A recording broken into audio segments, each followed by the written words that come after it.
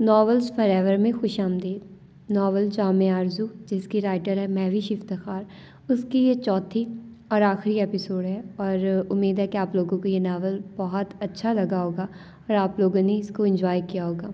इसके बाद आप लोगों को एक सरप्राइज़ मिलेगा, एक अच्छा सा नावल मैं लाऊँगी तानिया ताहिर का और यकीनन आप लोगों को वो पसंद भी आएगा।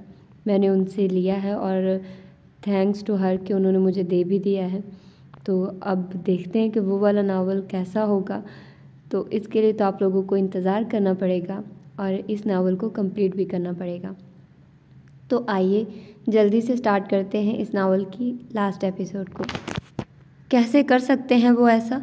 आधा घंटा हो गया था उन्हें घर लौटे, मगर सैम का शौक़, उसका गुस्सा, जूँ का तू बरकरार था। अब उसे एहसास हो रहा था कि वो उस रोज़ जो भी कह कर गए थे, उसमें से कुछ भी बेमायनी या उसे महज डराने, धमकाने के लिए ना था। दूसरे लफ्ज़ों में वो उसे मुकम्मल तौर पे आग कर चुके थे। और सिर्फ़ वही नहीं, बल्कि उसकी माँ भी उससे लातलकी इख्तियार कर चुकी थी और ये धचका उसकी बहुत सी खुशफहमियों का ख़ात्मा करने के लिए काफ़ी था। उसे गुस्से के साथ साथ शदीद किस्म की परेशानी भी लाक हो गई थी। अमेरिका जैसे मुल्क में रहकर भी। उसने आज तक शहजादों की सी ज़िंदगी गुजारी थी। मुशक्क़त किसे कहते हैं और गिन गिन कर पैसा खर्च कैसे किया जाता है? वो ऐसी हर कड़वी हकीकत से नाबल था। मुझे मुझे कुछ करना होगा। डूबते दिल के साथ यहाँ वहाँ चकराते। वो बेख्तियार बुड़बुड़ाया था। क्या करोगे? सोजी ने उसकी तरफ़ देखा था। मुझे उन्हें मनाना होगा। उन्हें किसी भी कीमत पर राज़ी करना होगा। और अगर उनकी कीमत हमारी अलीहदगी हुई तो? सोजी की आँखों में सजाया रंग आ ठहरे थे। तो मैं ये भी कर गुजरूँगा। लम्हे के तवक़ुफ़ के बाद उसने इतमान से जवाब दिया। तो सोजी की आँखें मारे हैरत के फट सी गई थी। क्या? हाँ मैं ये भी कर गुजरूँगा। मगर वो लहजा भर को रुका था और फिर बेख्तियार मुस्कुरा दिया था। मगर सिर्फ़ आर्जी तौर पे। और साकित बैठी सोजी उसे बेयकीन नज़रों से देखे चली गई थी। उसके तासुरात पे सैम ने एक गहरी सांस ली थी और धीरे धीरे कदम उठाता, उसके करीब आ बैठा था। देखो सोजी, हम दोनों जानते हैं कि अगर मैं अपनी फैमिली में वापस जाना चाहता हूँ तो उनकी यही शर्त होगी। लेकिन दोहराना चाहूँगा। मैं इस बार जोश से नहीं, होश से काम लूँगा। और इसमें मुझे तुम्हारे सब्र और तुम्हारे साथ दोनों की ज़रूरत होगी। तुम्हें हर हाल में मुझ पे यकीन करना होगा, क्योंकि मैं तुम्हें आज एक बात बिल्कुल सच सच बता रहा हूँ। मैं तुमसे मोहब्बत करता हूँ। लेकिन मैं इस दौलत और इस स्टेटस के बगैर जीने का तस्वुर भी नहीं कर सकता। तुम इसे मेरी खुद गर्जी कह लो या कुछ भी, लेकिन मुझे ये सब हर सूरत दोबारा हासिल करना है। सो अगर तुम ये सब नहीं कर सकती तो मुझे अभी बता दो।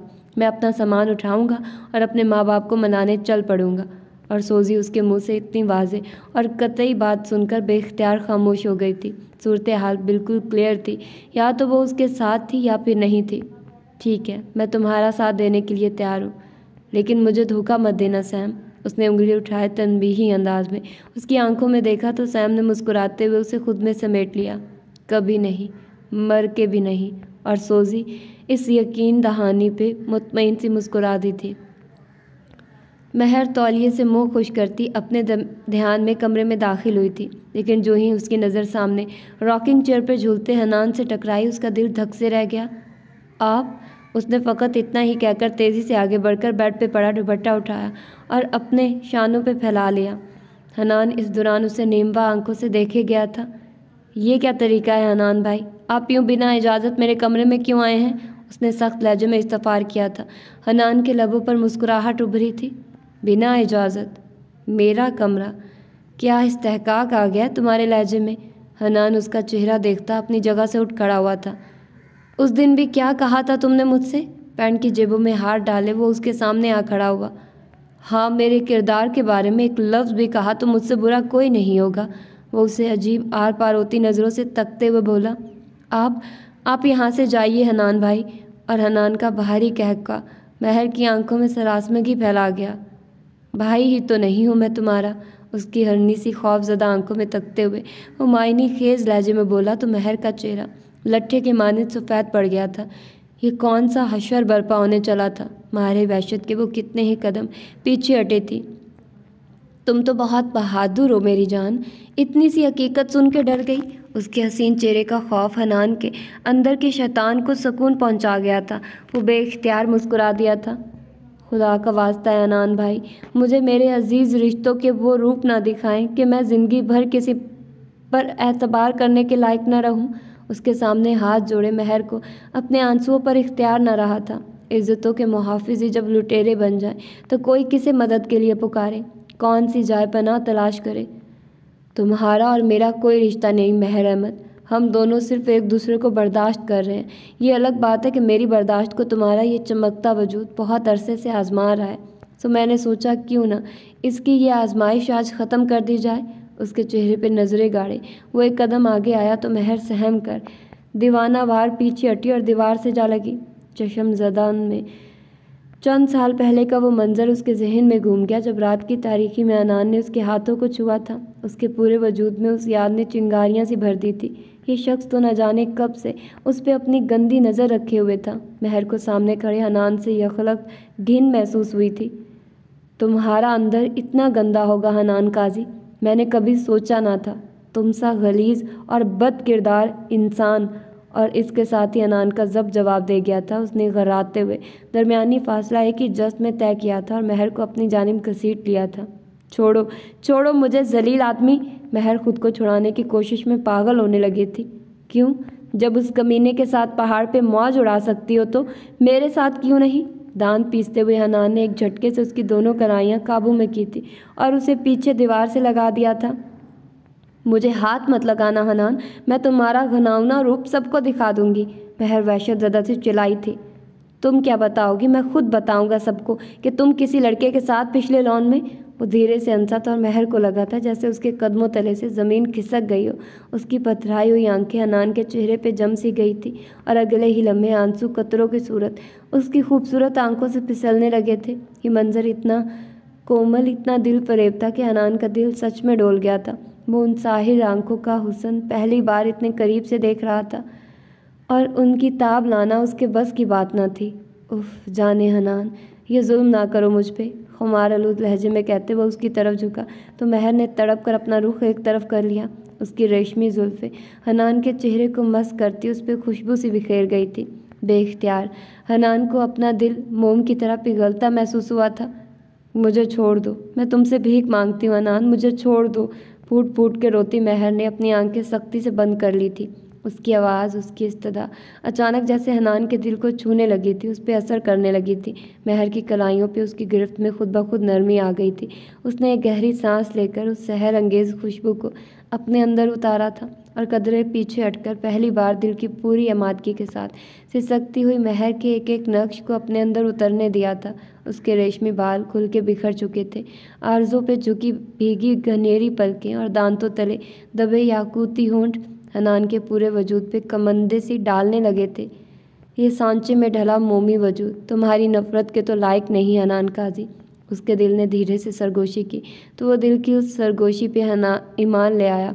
उसने महर की कलाई पे से अपना दायां हाथ हटाते हुए, एक ट्रांस की सी कैफियत में उसके चेहरे पर बिखर आने वाले बालों को अपनी उंगलियों से समेटते हुए उसके गाल को सुलाया।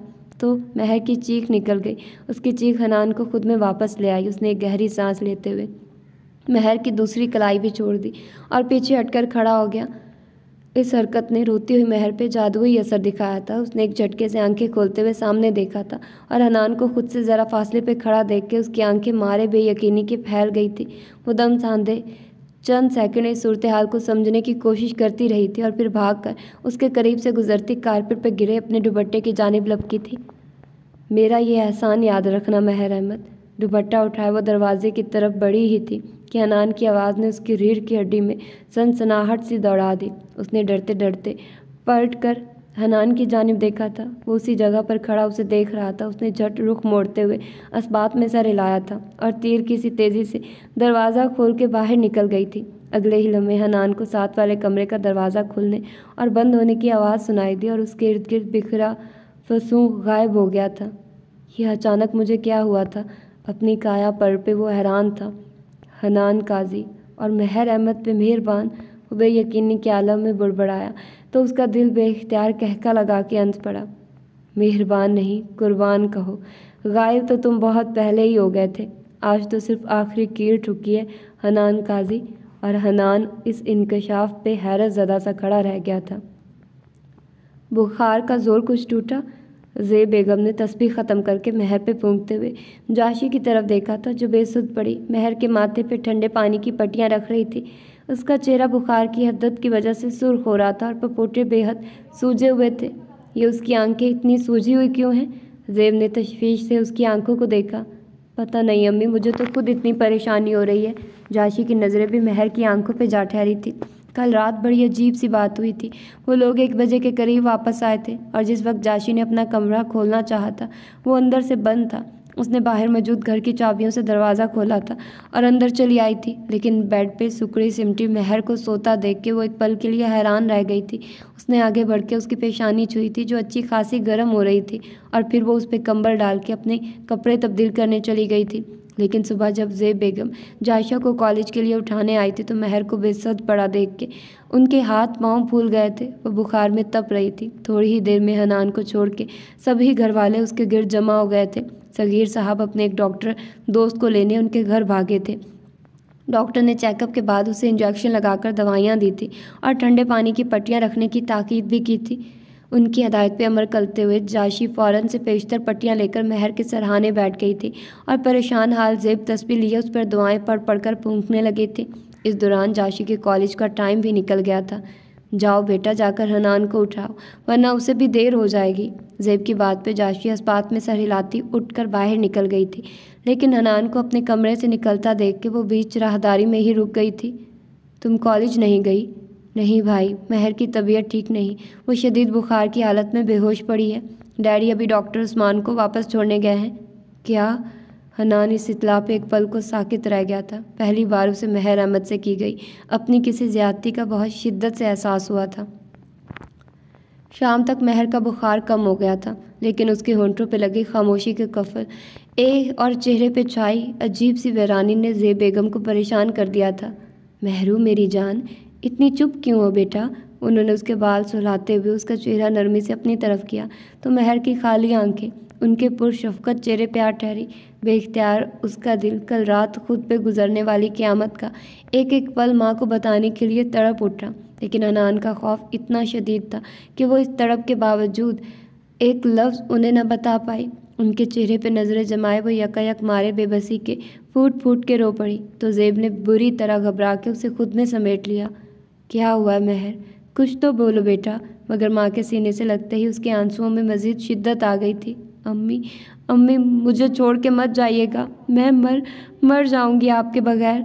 वो आंसुओं के दरमियान अटकते हुए बोली तो जेब का मतविश दिल तेज़ी से डूब कर उभरा। क्या बात है महर? हनान ने कुछ कहा है तुम्हें? उससे अलग होते हुए उन्होंने यूँ ही हनान का नाम लिया तो महर रोना भूल भूलकर खौफजदा नज़रों से उनका चेहरा तकने लगी।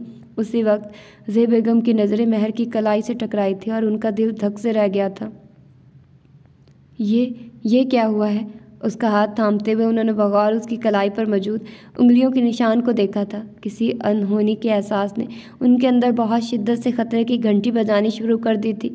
उन्होंने झपट कर उसकी दूसरी कलाई पकड़ी थी और वहाँ भी वैसा ही निशान देख के उनकी वहशत के मारे फैली आँखें।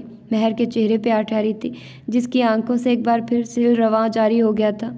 अम्मी अम्मी कल रात हनान मेरे कमरे में, उनकी गोद में मुँह छुपाए महर फ़कत इतना ही कह पाई थी, और जे बेगम ने तड़प कर अपना कलेजा थाम लिया था। उन्हें काजी वला के दरो दीवार धड़ धड़ाते हुए खुद पे गिरते महसूस हुए थे। सुबह काजिब का वक्त था, जब फ़ोन की मतवातिर बैल से अंजुम की आँख खुली थी। उन्होंने हाथ बढ़ाकर सेल उठाया था और स्क्रीन पे इस वक्त जेब का नंबर देख के वो बेख्तियार घबरा गई थी। सरर से फ़ोन कान से लगाए वो उठ बैठी थी। हेलो जेब, खैर तो है? उन्होंने छूटते ही उनकी खैरियत दरियाफ्त की थी। आपा, अगर आप मेरा मरा हुआ मुँह नहीं देखना चाहती तो आकर अपनी अमानत ले जाइए।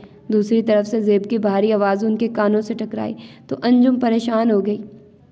क्या कह रही हो? लेकिन जेब की अचानक बुलंद होने वाली सिस्कियों ने उनका दिल बंद कर दिया था। उन्होंने घबरा कर एक नज़र सोए हुए इब्राहिम साहब पर डाली और उठकर तेज़ कदमों से कमरे से बाहर निकल आई थी। जेबी कुछ तो बोलो। आखिर हुआ क्या है? अपने पीछे दरवाज़ा बंद करते हुए उनको हौसला जवाब देने को था। आपा आपा हनान ने महर के साथ ज़बरदस्ती करने की कोशिश की है और अंजुम की आँखें मारे बेयकीनी के फटने को आ गई थी। क्या? उन्होंने अपने कामते वजूद को संभालने के लिए बेख्तियार दीवार का सहारा लिया था। हाँ आपा, जेब ने बेख्तियार सिसकी ली थी और फिर यूँ ही रोते हुए वो महर की ज़बानी सुनी गई। सारी तफसील उनके गोश गुजार करने लगी थी, जिसे सुनते हुए अंजुम अपना सर थामे वही राहदारी में बैठ गई थी। आपा, आपको अल्लाह का वास्ता है। अगर आपको मेरी और मेरी बच्ची की ज़रा सी भी परवाह है तो जितनी जल्दी हो सके यहाँ आकर महर को ले जाइए। चाहे समरोज़ माने या ना माने, वो आपके साथ आए या ना आए, आप बस महर को यहाँ से ले जाएँ। प्लीज़ आपा मेरी बच्ची को यहाँ से ले जाएँ। बात करते करते वो बेख्तियार फूट फूट के रो पड़ी। तो अंजुम के अपने आँसू बह निकले। वो अपनी मुसीबत की मारी बहन पे समरोज़ की हकीकत का पहाड़ कैसे तोड़ती भला। तुमने सगीर को यह बात बताई। उन्होंने लर्जते लहजे में सवाल किया। तो जेब की आवाज़ में सरासमगी फैल गई। नहीं, आपा। मैंने किसी को कुछ नहीं बताया और ना ही आप भाईजान से इस भयानक वाक्य का ज़िक्र कीजिएगा। ये तो वो तूफ़ान है कि अगर उठ खड़ा हुआ तो फिर किसी चीज़, किसी रिश्ते को नहीं छोड़ेगा। क्योंकि हनान ने तो बाप के सामने हर हाल में मुकर जाना है और मेरी बच्ची सच्ची होकर भी हर सुरसवा हो जाएगी।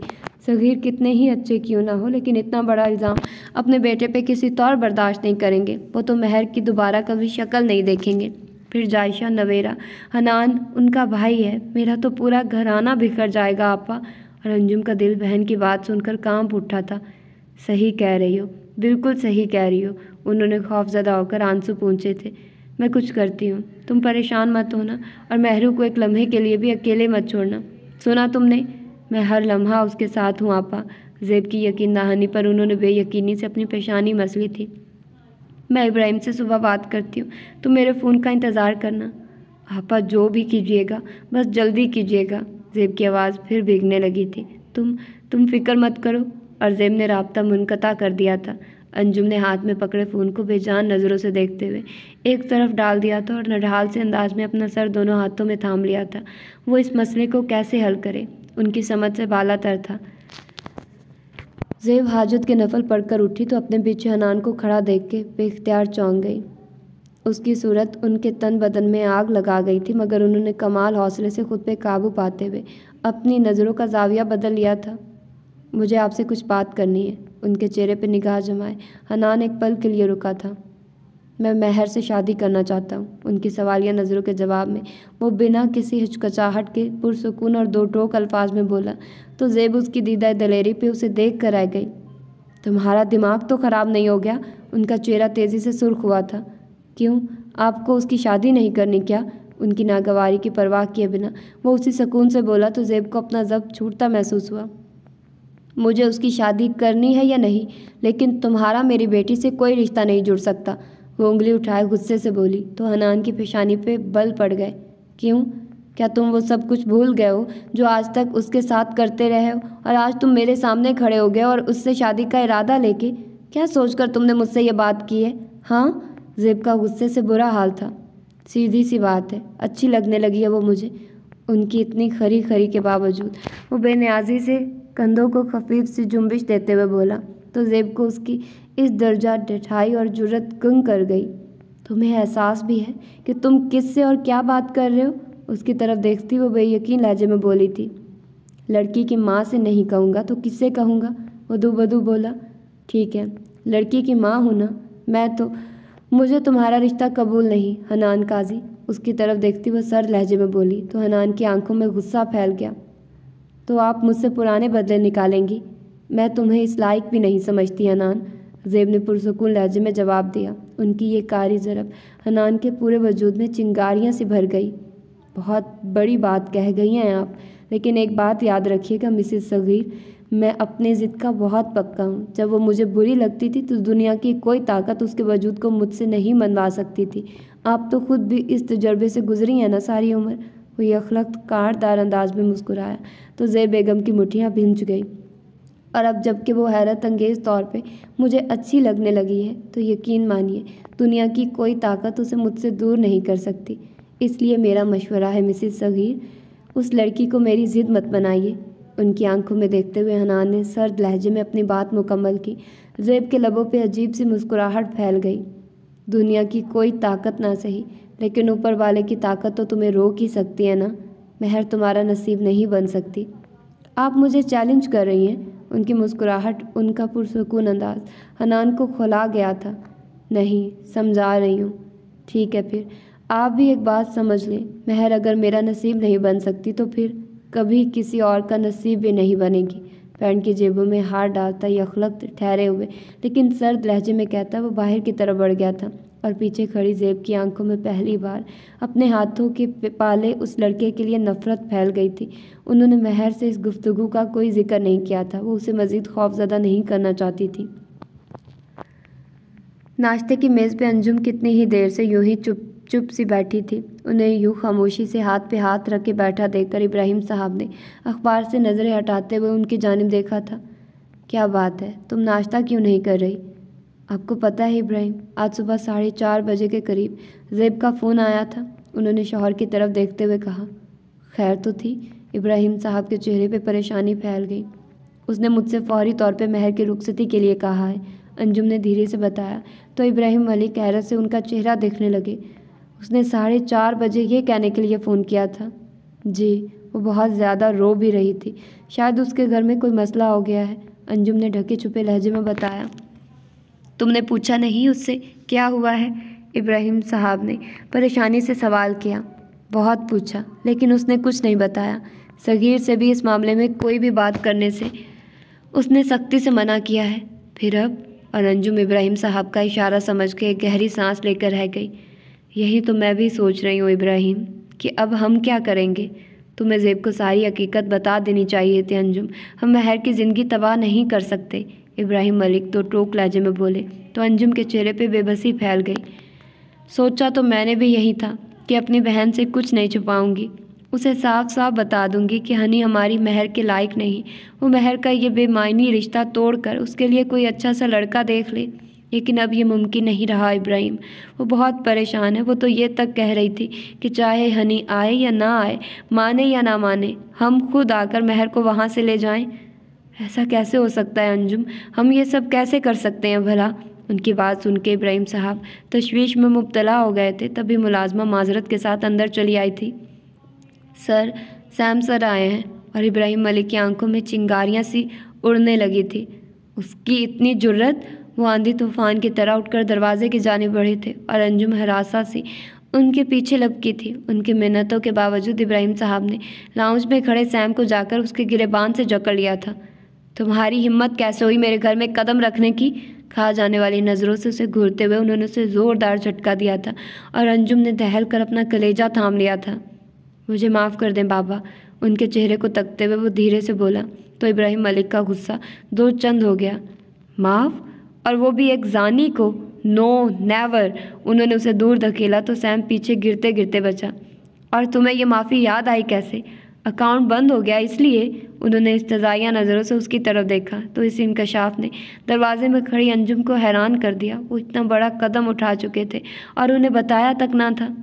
आपने मेरा अकाउंट बंद करवा दिया है, सैम ने अनजान बनने की एक्टिंग करते हुए बाप की तरफ़ देखा। यह ड्रामा किसी और के सामने जाकर रचाओ, इब्राहिम मलिक ने कान पे से मक्खी उड़ाई थी। मैं सच कह रहा हूँ, बाबा। मुझे इस बारे में कोई इल्म नहीं। उसकी दहाई पे इब्राहिम साहब की तेज़ नज़र उसके चेहरे पे आ ठहरी थी। तो ठीक है, अब जान लो, मैं तुम्हें अपनी सारी दौलत और जायदाद से आग करने वाला हूँ और इसीलिए मैंने तुम्हारा अकाउंट बंद करवा दिया है। और सैम का दिल तेज़ी से डूब कर उभरा था, मगर उसने अपने चेहरे पर किसी किस्म की घबराहट नहीं आने दी थी। वो आपकी मलकियत, आपकी चीज़ है, आप जो चाहें वो फ़ैसला लें। मैं आपको कुछ नहीं कहूँगा। मगर प्लीज़ प्लीज़ एक बार मुझे माफ़ कर दे बाबा। मैं इतनी रातों से सो नहीं सका हूँ। उनकी तरफ़ देखता वो धीरे से आगे बढ़ा था और अंजुम ने अपनी सिसकी का गला घूंटने को लबों पर तेज़ी से दुबट्टा रख लिया था। ये उनकी इकलौती औलाद उन्हें किस दोराहे पर ले आई थी? मैं अपनी मुजरिम को तो माफ़ कर सकता हूँ, मगर अपने अल्लाह के मुजरिम को माफ़ करने की ज़रूरत नहीं कर सकता। इसलिए बेहतरी इसी में है कि तुम यहाँ से चले जाओ, सैम। बात करते करते इब्राहिम साहब उनकी तरफ़ से रुख मोड़ गए थे। सैम तेज़ी से उनके कदमों में आ गिरा। प्लीज़ बाबा, यूँ मत कहें। मैं आप लोगों के बगैर ज़िंदगी गुजारने का तस्वुर भी नहीं कर सकता। मैं सैम नहीं, आपका समरोज़ हूँ। मुझे माफ़ कर दे बाबा। मैं मैं फिर दोबारा ये हरकत कभी नहीं करूँगा। उनकी टांगों से लिपटे उसकी अदाकारी अरूज पे थी और अंजुम के आँसू थे कि रुकने में नहीं आ रहे थे। वो बड़े ताबी से शोहर की जाने बढ़ी थी। प्लीज़ इब्राहिम माफ़ कर देना। उनके बाजू पे हाथ रखे वो लजाजत से गोया हुई थी। इब्राहिम साहब ने एक नज़र उनकी बरसती आँखों को देखा था और नज़रों का जाविया बदल लिया था। एक शर्त पे वो बेतासुर आवाज़ में बोले तो सैम को लगा जैसे उसकी मुश्किल आसान हो गई हो, वो खुशी से उठ खड़ा हुआ। मुझे आपकी हर शर्त कबूल है बाबा। ज़्यादा से ज़्यादा वो सोजी को छोड़ने की बात करने वाले थे और ये तो वो पहले से ही जानता था। हम तीनों अगली किसी भी फ़्लाइट से पाकिस्तान जा रहे हैं। उनकी तरफ़ रुख मोड़ते हुए उन्होंने कतई लहजे में, सैम के सामने वो शर्त रखी थी जिसके बारे में उसने गुमान भी ना किया था। वो एक टिक उन्हें देखता रह गया था। किसी अगर मगर की गुंजाइश बची ही ना थी उसके पास। ठीक है, हथियार डालने के सिवा उसके पास कोई चारा ना था और साकित खड़ी अंजुम को लगा था जैसे कोई मोजा रौनमा हो गया हो, जिसने लम्हों में उनकी हर अजियत, हर परेशानी का मदावा कर दिया था। उनका बेटा उनकी आँखों की ठंडक गुमराही के रास्ते से लौट आया था। वो अपनी बहन और भांजी के सामने रसवाही और जग हंसाई से बच गई थी। उन्हें यकीन नहीं आ रहा था। अंजुम सैम के अपने कमरे में जाते ही इब्राहिम मलिक ने बेगम को पुकारा था, हम जब तक पाकिस्तान नहीं पहुँच जाते, तुम समरोज से रुखसती या मेरे यहाँ से कारोबार समेटने का ज़िक्र बिल्कुल मत करना। और अंजुम ने उन्हें देखते हुए इस बात में सर ला दिया था, समरोज़ अगर उनका बेटा था तो वो उसके बाप थे। उसे राय रास्त पर कैसे लाना था, वो अच्छी तरह से समझ चुके थे। हनान वाले वाक़े को गुजरे। महज तीन दिन ही हुए थे जब अंजुम ने फ़ोन करके जेब को अपनी आमद की खुशखबरी सुना दी थी। उन दोनों के साथ हनी की आमद का सुन के जेब बेख्तियार सजदाय शुक्र में गिर गई थी। इन दो, सवा दो सालों में हनी के ज़ात से पैदा होने वाला हर खदशा, हर गिला खुद ब खुद दूर हो गया था। वो अपने माँ बाप के साथ उनकी बेटी को इज़्ज़त के साथ रुखसत करवाने के लिए आ रहा था। उन्हें और कुछ भी नहीं चाहिए था। उन्होंने ये खुशखबरी महर को सुनाते ही उबे फिलवक्त रुखसती की बात को खुद तक महदूद रखने की ताकीद की थी। वह छुपे हुए निकाह को आखिरी वक्त हनान के इल्म में नहीं लाना चाहती थी। न जाने कितनी बेख्वाब और सहमी हुई रातों के बाद। महर को आज सुकून की नींद नसीब हुई थी। वह जाशी के बराबर में होते हुए भी वो सारी सारी रात डर के मारे जागती रहती थी। उन तीन दिनों में उसकी माँ ने उसके गिर्द यूँ हसार बांधा था कि अनान की सूरत भी उसे दोबारा नज़र नहीं आई थी। मगर इसके बावजूद उसका दिल हर शय से अचाट हो गया था। वो बिल्कुल चुप सी हो गई थी। बुखार टूट जाने के बाद भी वो जाची के कमरे की चार दीवारी से निकलने को तैयार न थी। उसका अपना कमरा उस दिन से खाली पड़ा था। महर को वहाँ जाने का सोच कर ही वहशत होने लगती थी। लेकिन अब जब से उसने हनी की आमद का सुना था, उसके वजूद पे छाया जमूद टूट सा गया था। राज शुक्राने के नवाफिल अदा करने के बाद उसने इतने दिनों में पहली बार रगबत से खाना खाया था और फिर इसके बाद वो सोने के लिए लेट गई थी। मगर खिलाफ मामूल ना वो डरी थी और ना खाली उल जहनी के आलम में दरों दीवार को तकती हौलती रही थी। बल्कि वो चंद ही लम्हों में बड़ी गहरी और पुरसकून नींद सो गई थी। नतीजतन उसकी आँख अपने पुराने मामूल के मुताबिक फजर के वक्त खुल गई थी। उसने बड़ी दिलजमी से उठकर नमाज़ फजर अदा की थी। नमाज़ पढ़ के उसके दिल को बेहद सुकून मिला था और इसी सुकून भरी कैफियत में उसका दिल औस में भीगी नरम घास पे चहल कदमी के लिए मचल उठा था। वो बिला इरादा ही उठी थी और दरवाज़ा खोल के कमरे से बाहर निकल आई थी। बाहर हर सू मुकम्मल खामोशी थी। जय बेगम के कमरे की लाइट भी बंद हो चुकी थी। शायद वो नमाज़ पढ़ के दोबारा लेट गई थी। रहा हनान तो वो तो इस वक्त उठने का आदि ही नहीं था। तो महर इतमान से कदम उठाती, नीचे चली आई थी और दाखिली दरवाज़ा खोल के बाहर लॉन में निकल आई थी। वो पाँव में पहनी चप्पल उतार के नरम ठंडी घास पे टहलने लगी थी और उसी वक्त हनान अपने कमरे में खिड़की के पर्दे बराबर करने के इरादे से आगे बढ़ा था। रात हनी की आमद का सुन के वो इतना बदमज़ा हुआ था कि खाना छोड़कर अपने दोस्तों की तरफ़ निकल गया था। और फिर वहीं उनके दरमियान सारी रात गुजार के वो अभी थोड़ी देर पहले घर लौटा था। वो सोने के इरादे से खिड़की के पर्दे बराबर करने को आगे आया था और तभी उसकी नज़र लॉन में टहलती महर पे पड़ी थी। उसकी इतने दिनों की फ्रस्ट्रेशन उठ कर आई थी। वो एक झटके से पर्दा छोड़कर पलटा और लंबे लंबे डग भरता बाहर निकल आया था। अच्छा वक्त है अपनी पनाह गाह से निकलने का। और अपने ध्यान में टहलती महर को लगा था, जैसे किसी ने उसकी रूह कब्ज कर लियो। वो इतनी वहशत ज़दा हुई थी कि उसमें पीछे पड़ कर देखने की भी हिम्मत न रही थी। तुमने सोचा होगा कि हनान तो सो रहा होगा, मगर इधर महर साहिबा ने कदम बाहर निकाला और उधर वो कसदन बात अधूरी छोड़ के हंसा महर ने भागकर वहाँ से अंदर जाने की कोशिश में जो ही कदम बढ़ाए। हनान ने तेज़ी से आगे बढ़ के उसका रास्ता रोक लिया। इतनी जल्दी भी क्या है? महर के फक होते चेहरे पर निगाह जमाए। वो भरपूर अंदाज में मुस्कुराया। पता है, तुम्हारे इस खूबसूरत चेहरे पे कभी ये खौफ देखने की मैंने बड़ी तमन्ना की थी, मगर आज जब ये फैला है तो यकीन मानो ज़रा अच्छा नहीं लग रहा। जानती हो क्यों? वो एक कदम आगे आया तो महर कितने ही कदम पीछे हट गई। क्योंकि तुम्हारे मामले में ये दिल अचानक ही मेरे मुकाबिल डट गया है। मोहब्बत हो गई है मुझे तुमसे, महर अहमद। उस पर नज़रें जमाए वो गंभीर लहजे में बोला महर की आँखें मारे बेयकीनी के फैल सी गई। यकीन नहीं आ रहा ना, कोई बात नहीं। अपनी माँ से जाके पूछो, हाथ मांगा है मैंने तुम्हारा? और महर को लगा था, जैसे उसके असाब पे कोई बम आ गिरा हो। तुम्हारी हिम्मत कैसे हुई? इतनी देर में पहली बार उसके होंठों ने जुम्बिश की थी। यही सवाल उस दिन तुम्हारी माँ ने भी पूछा था। खासा तफसील से जवाब दिया था मैंने उन्हें तुम्हारे लिए। इतना ही जानना काफ़ी है कि उस रोज़ के बाद से बहा गई हो तुम मुझे, और जो चीज़ हनान काजी को बहा जाए, वो भला कहीं और कैसे जा सकती है? उसकी तरफ़ देखता वो धीरे से मुस्कुराया तो महर की आँखों में फैली वे यकीनी नफरत में डूब गई। मैं कोई चीज़ नहीं हूँ हनान काजी, जो तुम जैसा गंदा आदमी मुझे उठाकर अपने कमरे में सजा लेगा। मैं तुमसे नफ़रत करती हूँ, शदीद नफ़रत। अपने अंदर हवस को मोहब्बत का नाम दे रहे हो, तुम्हें तो डूब कर मर जाना चाहिए। तुम्हें पता है, महर अहमद, तुम्हारा ये गरेज, ये नफ़रत मेरी ज़िद्दी तबीयत को और भी तुम्हारी तरफ़ मायल कर रहा है। अब तो अगर तुमसे मोहब्बत नहीं भी है, तब भी शादी तो तुमसे ही करनी है मुझे। वो अजीब से सर्द और कतई लहजे में गोया हुआ था। उसके अंदाज ने बेख्तियार महर को इस बात का एहसास दिलाया था कि क्यों जेब उसके निकाह की खबर को आखिरी वक्त तक हनान से छुपाना चाहती थी। वो इतनी कमीनगी पे उतरा हुआ था कि कुछ भी कर सकता था। भूल है तुम्हारी, ऐसा कभी नहीं होगा। महर दुबदू बोली थी।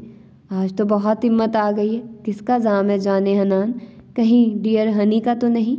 उसकी आँखों में देखता वो इस तजाई अंदाज में मुस्कुराया। तो महर बेख्तियार खामोश हो गई। उसका सहमा हुआ दिल अंदर ही अंदर। मज़ीद सहम गया। एक बात याद रखना महर। इस बार अगर तुम मुझे उस शख्स के इर्द गिर्द नज़र आई तो मैं तुम्हारा तो नहीं। अलबत्त उसका हुलिया बिगाड़ के रख दूँगा। उंगली उठाए वो अचानक तनबीही अंदाज में बोला तो महर की सांस एक पल को रुक सी गई। तुम मुझे पाबंद नहीं कर सकते। अपने गिरते हौसले को संभाले, उसने हिम्मत से उसकी तरफ़ देखा था। पाबंद तो तुम्हारा बाप भी नहीं होगा। यकीन ना आए तो आजमा कर देख लेना। और महर उसे खुशमगी नज़रों से देखती, दूसरी तरफ़ से निकल के तेज़ कदमों से अंदर की जाने बढ़ गई थी। सच शुक्र था कि उसने महर को जाने दिया था। कमरे की महफूज चार दीवारी में पहुँच उसने अपने पीछे दरवाज़ा मजबूती से बंद किया था और अपने लर्जते वजूद को संभाले। वहीं कारपेट पर बैठ गई थी। कहाँ हैं आप, हनी?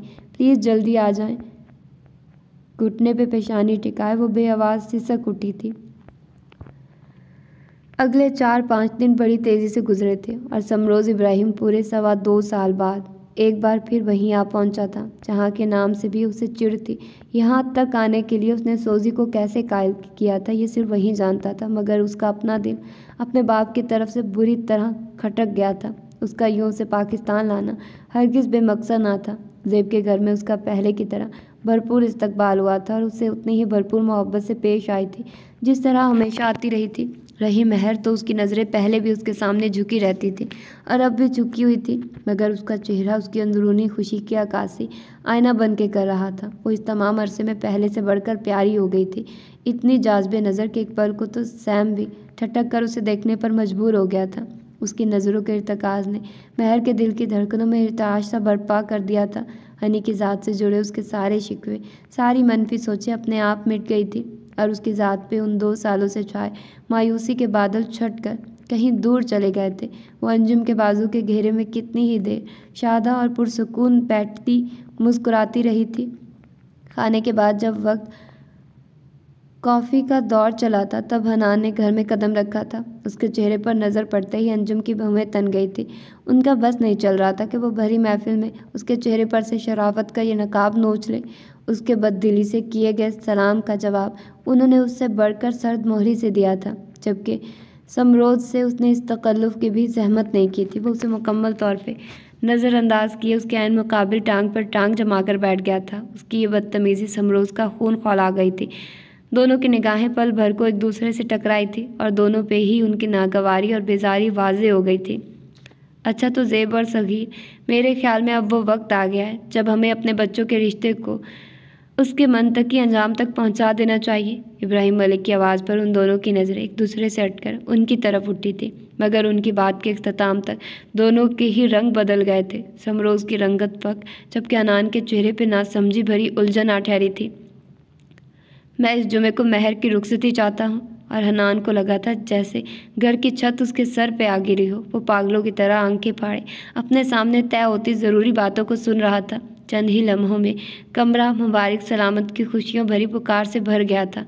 महर अहमद बचपन से समरोज़ इब्राहिम के निकाह में थी। उसे यकीन नहीं आ रहा था। नवेरा, जायशा की बेयकीनी भी अरूज पे थी। सब बेतहाशा खुश थे, सिवाय उन दोनों लड़कों के। वो दोनों एक दूसरे के मुकाबिल होके भी उस पर एक ही सदमे से दो चार थे। अचानक मिलने वाली हार का सदमा। फ़र्क सिर्फ़ इतना था कि एक महर अहमद को खोकर हारा था और दूसरा उसे पाकर हारा था। आप मेरे साथ ऐसा कैसे कर सकते हैं? अपने कमरे में तन्हाई मिलते ही समरोज़ माँ बाप पे फट पड़ा था। उसके हाथ पाँव अपने ही लालच के हाथों बंधे थे। वो इस लम्हे मुकम्मल तौर पर बेबस था। क्यों? तुम्हारी शादी नहीं करनी हमें। उसके बरक्स इब्राहिम मलिक बिल्कुल पुरसकून थे। आप लोग जानते हैं, मैं उस लड़की से शादी नहीं करना चाहता। उनकी तरफ़ देखते हुए उसने पहली बार अपनी उस आँख मचोली को ज़बान दी थी। हम कैसे जान सकते हैं? तुमने आज से पहले तो ये बात कभी हमसे नहीं कही। इब्राहिम साहब का चेहरा बेतासुर था। अनजान मत बनिए बाबा। आप दोनों जानते हैं कि मैंने कभी महर में कोई इंटरेस्ट शो नहीं किया। सही कह रहे हो, तुम्हारा इंटरेस्ट तो और बहुत सी चीज़ों में रहा है, पुरसोच अंदाज में। उसकी तरफ़ देखते हुए उन्होंने चोट की तो सैम के लब सख्ती से एक दूसरे में पेवस्त हो गए। मगर क्या है समरोज साहब, आपको अपनी फैमिली में दोबारा कबूल करने के लिए मेरी यही शर्त है। वो उसके चेहरे पर निगाहें जमाई, इंतहाई पुरसकून लहजे में गोया हुए थे। उनका बेलचक अंदाज सैम के अंदर बेयकीनी भर गया था। आप आप उस थर्ड क्लास लड़की के लिए अपने क्लौते बेटे को कबूल करने से इनकार कर रहे हैं? वो थर्ड क्लास है या फ़र्स्ट क्लास हमारी तरफ़ से तुम पर कोई दबाव नहीं। अभी जाओ, टिकट कटाओ और अमेरिका पहुँच जाओ। हम में से तुम्हें कोई नहीं रोकेगा। वह लसान से कहते अपनी जगह से उठ खड़े हुए तो समरोज़ की आँखों से चिंगारियाँ सी फूट निकली। ये ज़ोर ज़बरदस्ती हम में से किसी को कुछ नहीं दे पाएगी, बाबा। वो बाप की तरफ़ देखता, सर्द लहजे में बोला तो खामोश तमाशाई बनी बैठी अंजुम का दिल डूब सा गया। वाकई, अगर वो ज़बरदस्ती हनी और महर को इस रिश्ते में बाँध भी देते, तब भी वो हनी को उसे बाखूबी निभाने पे मजबूर तो नहीं कर सकते थे। लेकिन अगर दूसरी तरफ़ वो इब्राहिम मलिक को इस ज़बरदस्ती से रोक देती तो अपनी बहन को क्या जवाब देती? वो महर को हनान नामी अफरीत से कैसे बचाती? मेरी यही शर्त है समरोज़। उसके चेहरे पर निगाह जमाए उन्होंने ठहरे हुए लहजे में अपनी बात दोहराई। तो समरोज़ की मुठियाँ मारे इश्तियार के सख्ती से भिंज गई। वो चंद लम्हे उन्हें सुलगती नज़रों से देखता रहा और फिर एक झटके से पलट कर बाहर निकल गया। उसके तेवर इब्राहिम साहब को रत्ती बराबर मुतासर न कर पाए थे, लेकिन अंजुम बेगम के लिए इस परेशानी से निकलना नामुमकिन था। वो बेबसी से अपना सर थाम के बैठ गई थी। महर जाशी की फरमाइश पे अपना और उसका चाय का मग ट्रे में रखे छत पे आई थी, लेकिन जो ही उसकी नज़र जाशी के साथ खड़े समरोह से टकराई थी, वो एक झटके से रुक गई थी। लीजिए, आ गई आपकी मन को मनकोहा साहिबा। एक नज़र महर पे डालती वो समरोज़ की तरफ़ देख के शरारत से मुस्कुराई थी। अब आप दोनों जितनी चाहें बातें करें, मैं चलती हूँ। वो पढ़कर महर को देखती, मायनी खेज अंदाज में मुस्कुराई थी और जब आग से सीढ़ियाँ उतर गई थी। उसके यूँ दगा दे जाने पर महर ने पढ़कर सामने देखा था और समरोज़ को अपनी जाने पूरी तरह मतवजे पाके उसका दिल धड़क उठा था वो निगाहें चुराए धीरे धीरे कदम उठाती, उसके पास आ खड़ी हुई थी। चाय उसने ट्रे आगे बढ़ाई तो समरोज़ ने खामोशी से मग थाम लिया था। उसकी नज़रें महर से हटकर दूर तक फैली रोशनियों पर जा ठहरी थी। वो अपना मग लिए, उससे कदरे फासले पर जा खड़ी हुई थी। महर और महर को लगा था जैसे उसकी पूरी जान उसे एक लफ्ज़ में सिमट आई हो। समरोज़ के मुँह से अपना नाम, उसे कुछ ऐसा ही मोतबर कर गया था। तुम ये रोशनियाँ देख रही हो? उसने महर की तरफ़ देखे बिना उंगली से इशारा किया। तो महर बेख्तियार अपने सामने फैली उन रोशनियों को देखने लगी। जी, कैसी लग रही हैं ये? उसने रसान से सवाल किया। तो महर एक पल को उलझ सी गई। अच्छी लग रही हैं। उसने गर्दन मोड़कर एक नज़र समरोज़ पर डाली। जो अब भी नज़रें सामने जमाए हुए था। अब अगर तुम्हें कहा जाए कि इन्हें छोड़कर एक अंधेरी बंद गली में जा खड़ी हो तो उसने अचानक रुख मोड़ते हुए महर की आँखों में झांका तो हैरत ज़दा से महर खामोशी से उसका चेहरा तकने लगी। तुम्हारा साथ मेरे लिए एक ऐसी ही अंधेरी गली है महर, जिसमें मैं खुद को सारी उम्र के लिए बंद नहीं कर सकता। उसके चेहरे पर नज़रें जमाए, वो सुकून से बोला था और महर को लगा था जैसे कोई सनसनाता हुआ तीर उसके सीने में उतर गया हो। वो नासमझी के आलम में खड़ी उसे देखने लगी थी। ये ये वो क्या कह रहा था? इतने सालों में मैंने अपने माँ बाप तुम्हारे माँ बाप यहाँ तक कि तुम्हें भी अपने हर हर अमल से ये बात समझाने की कोशिश की है कि मुझे तुम में या इस रिश्ते में कोई दिलचस्पी नहीं, मगर कोई ये बात समझने के लिए तैयार ही नहीं। उसने कंधों को अचकाते हुए साकित खड़ी महर को देखा था।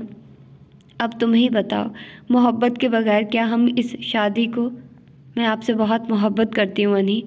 उस पर निगाहें जमाए। वो बहुत अचानक और बहुत धीरे से बोली थी। इतनी अचानक के सामने खड़ा समरोज़ अपनी बात मुकम्मल करना भूल गया था।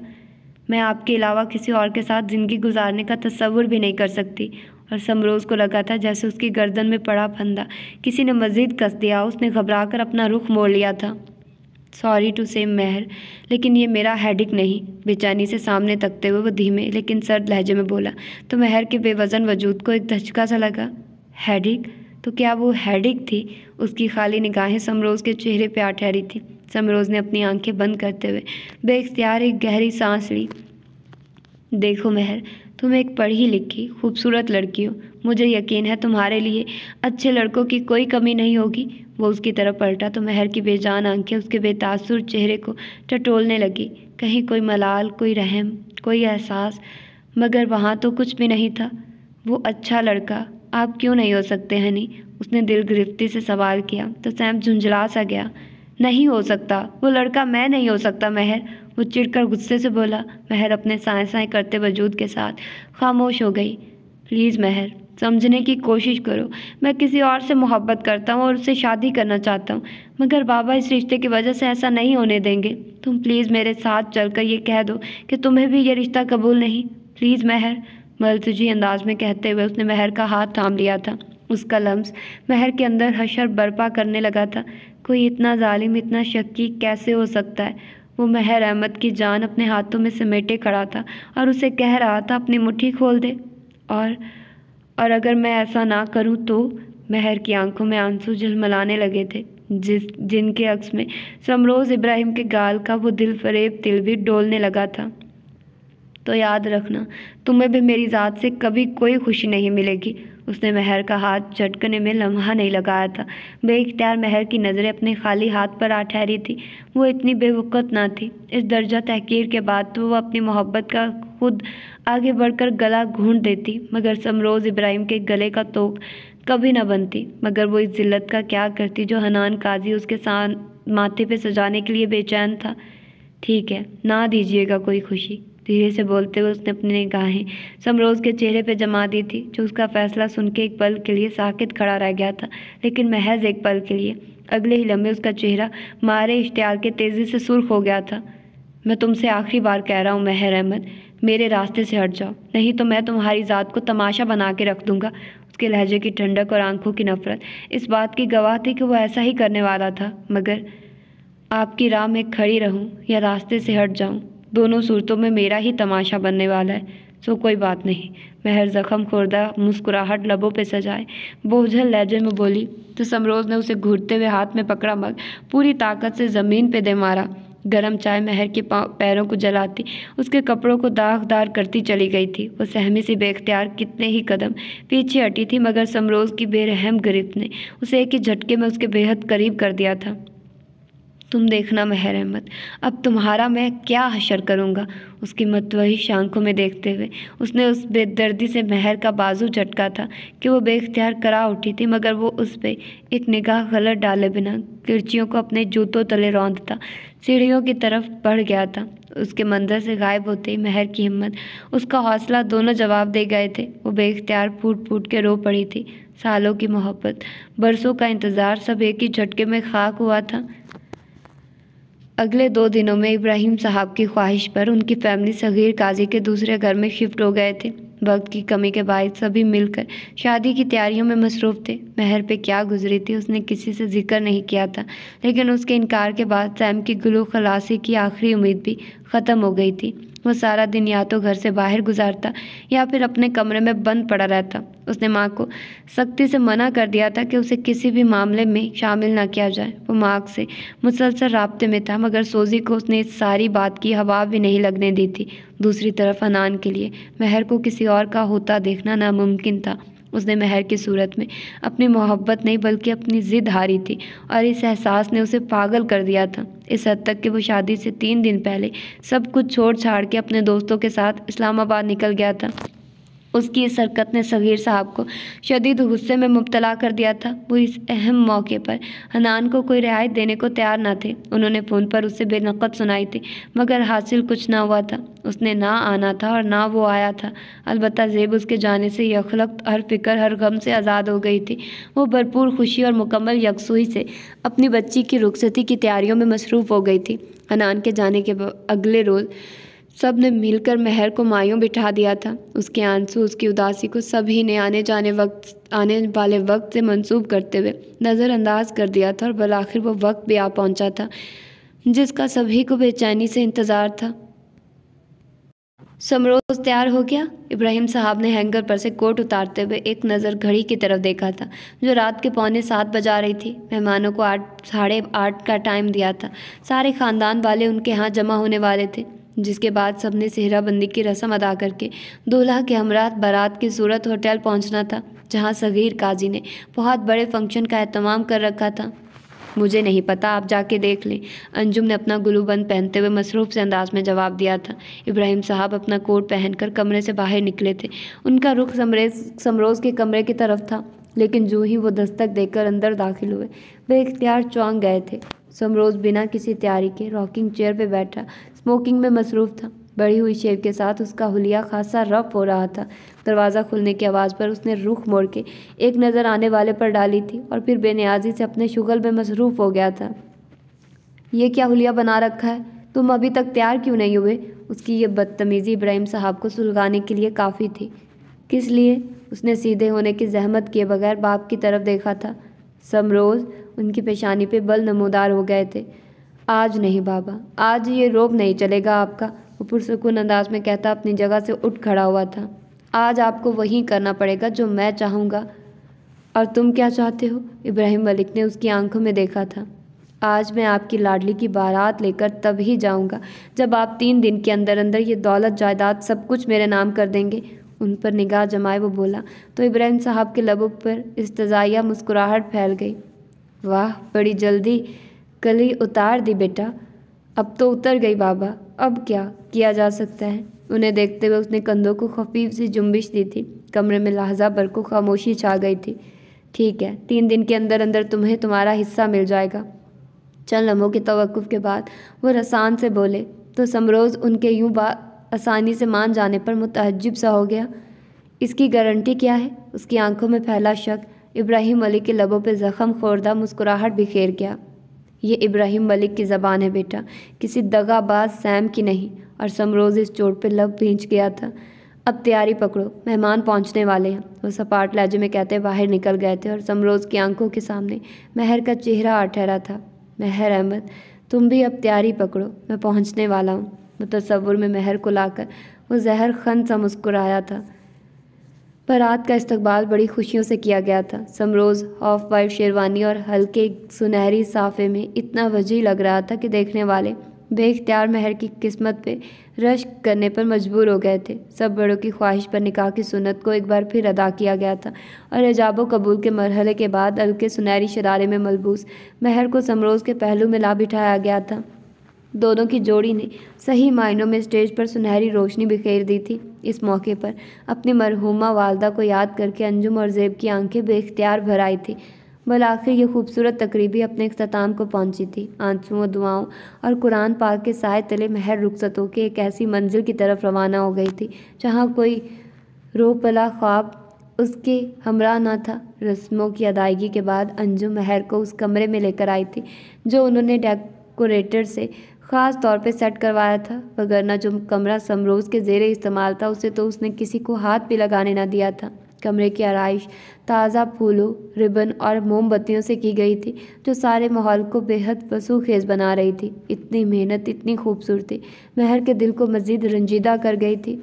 महरू मेरी जान तुम इस घर में बहू नहीं, बेटी बनकर आई हो।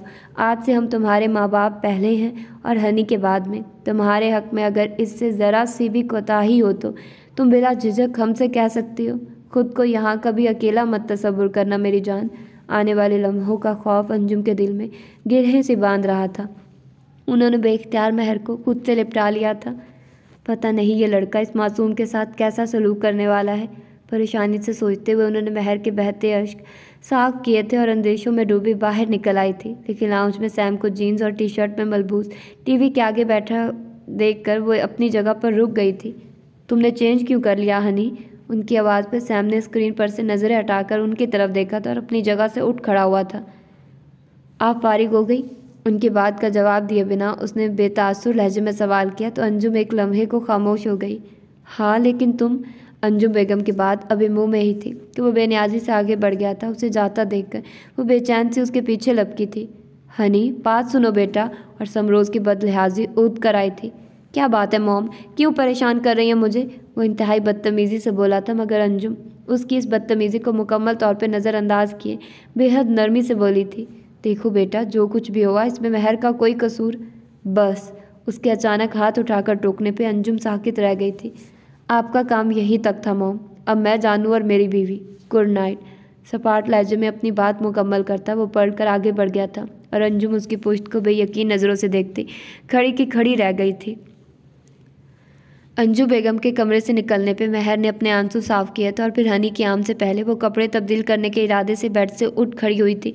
जब उसे महर की ज़ात से कोई दिलचस्पी ही नहीं थी तो इस हार सिंगार को कायम रखने की क्या ज़रूरत थी? ड्रेसिंग टेबल के सामने खड़े होकर उसने अभी दो पिन्ने भी नहीं उतारी थी कि एक झटके से दरवाज़ा खुला और अगले ही लम्हे समरोज़ अंदर दाखिल हुआ था। दोनों की नज़रें मिली थी और महर का दिल उछल के हलक में आ गया था। उसे घर के हुलिये में देखकर महर का दिल मज़ीद बोझल हो गया था। समरोज़ ने पढ़कर दरवाज़ा बंद किया था और महर की जानब रुख मोड़कर खड़ा हो गया था। उसकी निगाहें महर को अपने आर पार होती महसूस हुई थी। वो झिझक कर नज़रें चुराती, चेहरा झुका गई थी। दुल्हन के रूप में उसका हुसन दो आतशा हो रहा था, मगर अफसोस देखने वाले की निगाह में दूर तक सताइश ना थी। आप मेरी तरफ़ से आज़ाद हैं, यानी आप जब चाहें अपनी मोहब्बत को अपनी ज़िंदगी में शामिल कर सकते हैं। उसकी बोझल आवाज़ कमरे में छाई, खामोशी को तोड़ने का सबब बनी सी। सैम ने चौंक कर इस्तजाइया नज़रों से सरता पाव से देखा था और अगले ही लम्हे वो कहका लगा के हंस पड़ा था। तुमने से किसने कहा कि मुझे तुम्हारी इजाज़त की ज़रूरत है? हम दोनों वहाँ साथ रहते हैं, महर अहमद। और महर का दिल धक से रह गया था। एक झटके से सर उठाते हुए उसने बेयकीन नज़रों से समरोज़ की जानब देखा था, जो धीरे धीरे कदम उठाता उसके मुकाबले आ खड़ा हुआ था। क्या हुआ? इतनी हैरत से क्यों देख रही हो मुझे? अरे भाई, मोहब्बत हूँ मेरी, बल्कि सिर्फ़ मोहब्बत ही नहीं, शौहर भी हूँ तुम्हारा। क्या हुआ? जो औरतों का शौक़ है मुझे, और क्या हुआ जो मैं पिए बगैर रह नहीं सकता? ऐसा कुछ नहीं है। आप आप झूठ बोल रहे हैं। महर की कामती आवाज़ उसके जज्बात की अक्सी कर रही थी।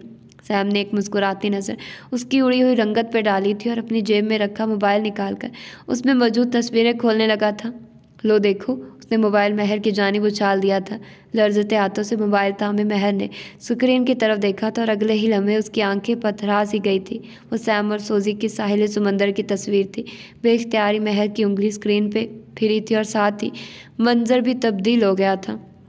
ये सैम और सोजी की नाइट क्लब में ली गई तस्वीर थी, जिसमें दोनों के हाथों में पकड़े मशरूब के, शराब के गिलास साफ़ नज़र आ रहे थे। इसके बाद एक एक करके तस्वीरें बदलती गई थी और महर मारे वहशत के पल के तक चपकना भूल गई थी। यहाँ तक कि मज़ीद कुछ देखने का याराना ना रहा और मोबाइल उसके बेजान हाथों से छूटकर कारपेट पर गिर, जा गिरा था। हो गई तसल्ली?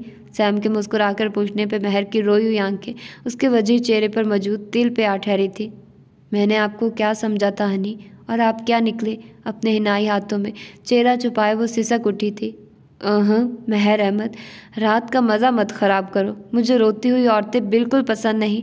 समरोज़ ने आगे बढ़ के उसके हाथों को छुआ था और महर के पूरे वजूद में जैसे करंट सा दौड़ गया था, वो तड़प के पीछे हटी थी। प्लीज़ हनी, मेरे करीब आने की कोशिश मत कीजिएगा। उसकी बरसती आँखों में दर्द अपने अरूज पर था। क्यों ना आऊँ करीब? बीवी हो तुम मेरी, और बीवी भी वो जो मेरी मोहब्बत का दम भरती है। ये ख्वाब नाक रात महकता माहौल, सब कुछ तुम्हारे ख्वाबों के अन मुताबिक तो है।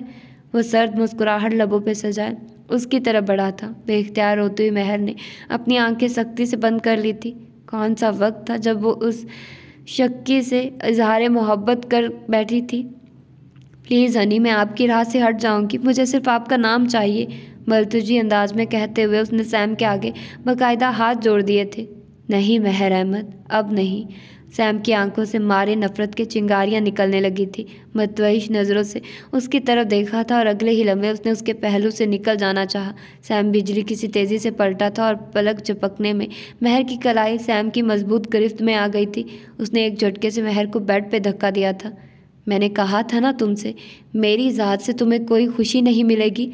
सैम ने बेरहमी से उसे अपनी जानब खींच लिया था। सुनो, तुम जानते हो क्या? रात बहुत चुपके से वो दम तोड़ गया, जो एतबार मुझे तुम पर था। कमरे की साकित फिजा में उसकी सिसकियाँ टूट टूट कर बिखर रही थी, मगर उन्हें सुनने वाला वाहिद इंसान। बेड पे बहुत गहरी और पुरसकून नींद सो रहा था। उसे कोई चीज़ तड़पा रही थी तो वो उस एतबार का बिखरना था, जो उसने आँखें बंद करके साल हा साल समरोज़ इब्राहिम पे किया था, वो जानती थी कि समरोज़ के साथ ज़बरदस्ती रिश्ता जोड़ के वो अपने हक़ में एक बुरा फ़ैसला ले चुकी थी। उसे समरोज़ से किसी अच्छाई की उम्मीद ना थी, लेकिन वो उसके साथ हनान से भी बदतर सलूक करने वाला था। ऐसा तो उसने कभी गुमान भी नहीं किया था। औरतों के साथ उसकी बदकिरदारी के नमूने अपनी आँखों से देखकर महर को लगा था, जैसे उसका अपना किरदार बेमोल हो गया हो। वो सही मायनों में आज तही दामन हो गई थी। उसके आँसू थे कि थमने में नहीं आ रहे थे। उसका दिल शिद्दत से खुद को ख़त्म कर ले कर लेने की ख्वाहिशमंद था। हर दौर में दोगली ज़िंदगी जीते जीते वो अपने वजूद से बेजार आ गई थी। अब एक बार फिर बहुत सी मुश्किलें उसका दामन थामे खड़ी थी। माँ का इतमान सास ससुर की खुशी, पीछे हनान, आगे समरोज़ की नफ़रत से भरी ज़िंदगी। वो जाती तो कहाँ जाती, किसे पुकारती? दूर तक कोई रास्ता ना था सिवाय अपने फ़ैसले को निभाने के। और महर अहमद ने एक बार फिर खुद को खामोशी की सूली पर चढ़ाने का फ़ैसला कर लिया था।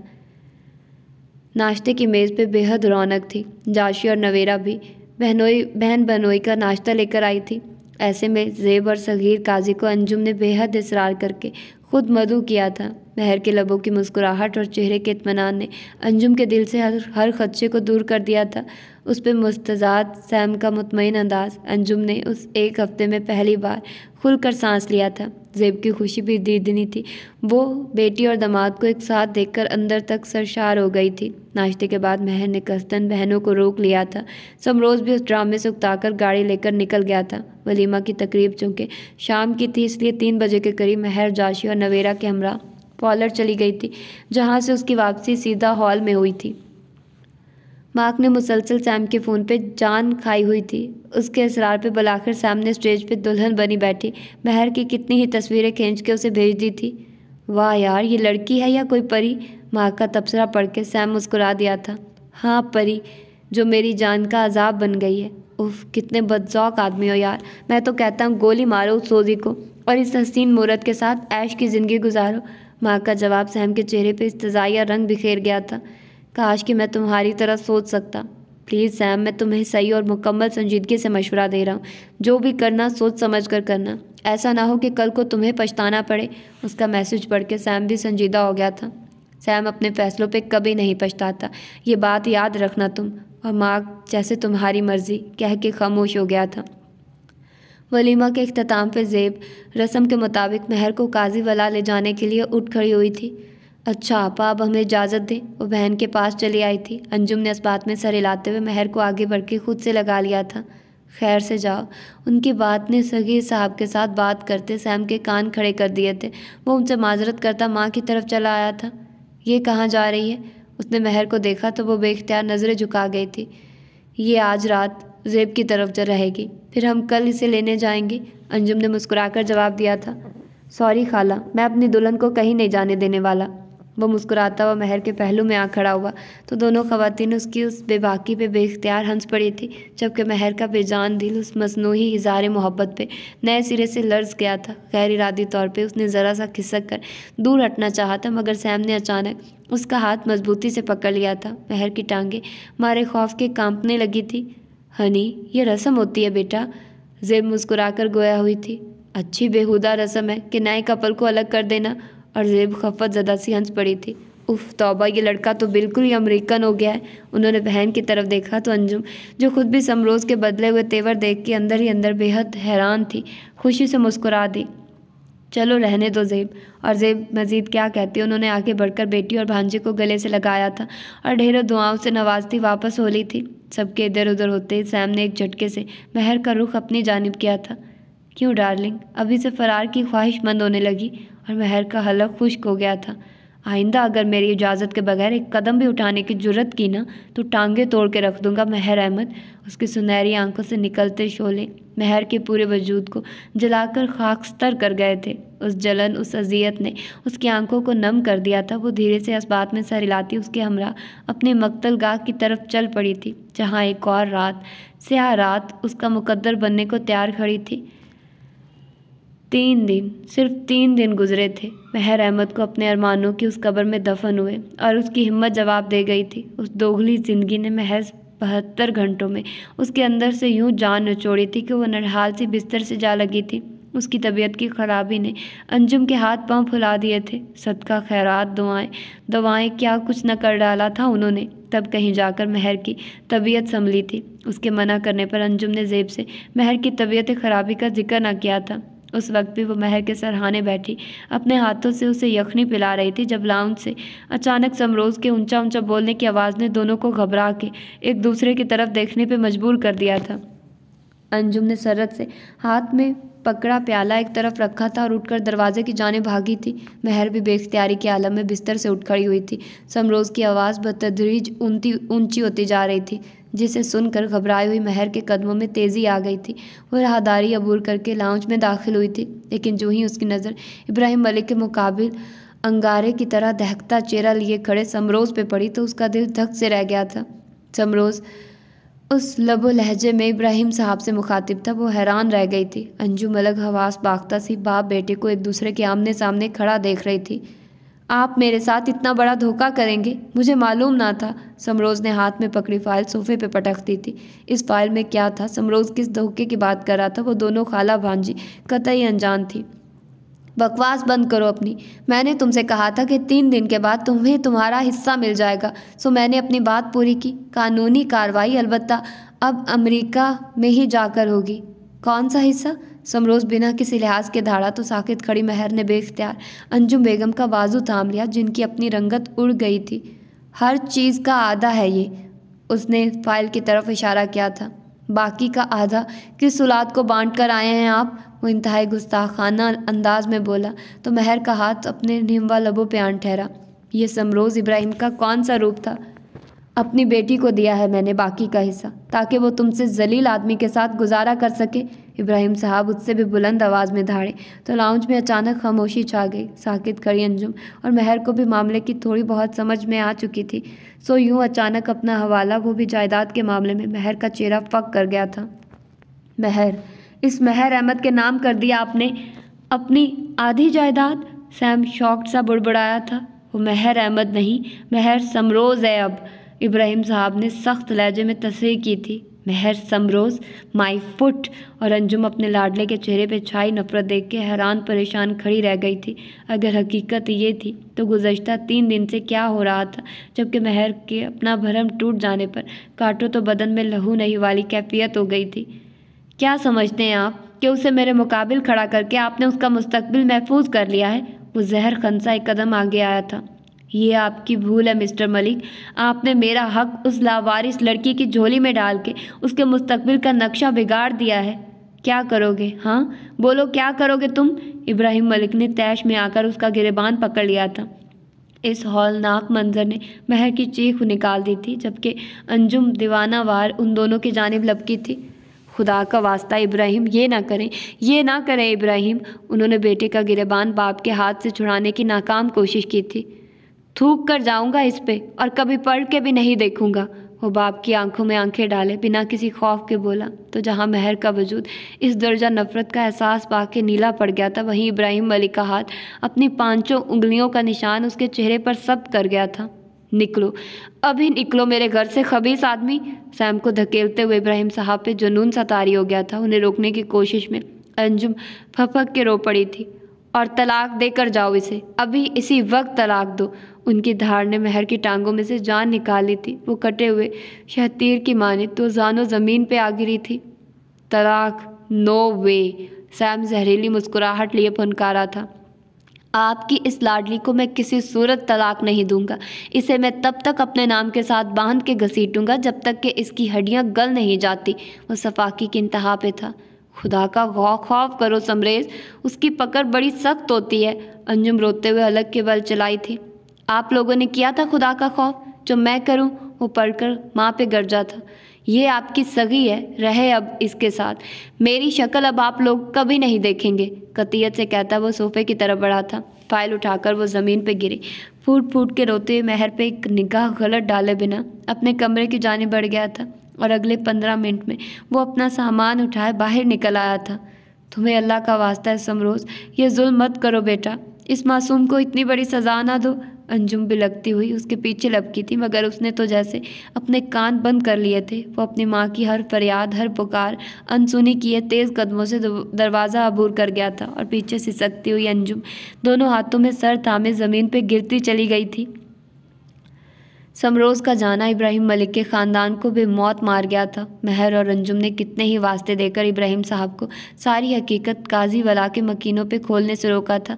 इतना सब कुछ हो जाने के बावजूद उन दोनों को समरोज़ की वापसी का यकीन था। महर ने जेब तक को खुद पर गुजरने वाली क़्यामत की हवा न लगने दी थी। सबको समरोज़ की अचानक वापसी की वजह यूनिवर्सिटी से ज़रूरी कॉल बताई गई थी। इस वाक़े के महज एक हफ़्ते बाद ही इब्राहिम साहब भी अमेरिका के लिए रवाना हो गए थे, मगर तब तक सैम अपने हाथ लगने वाले आधे हिस्से के लिए कानूनी कार्रवाई शुरू करवा चुका था।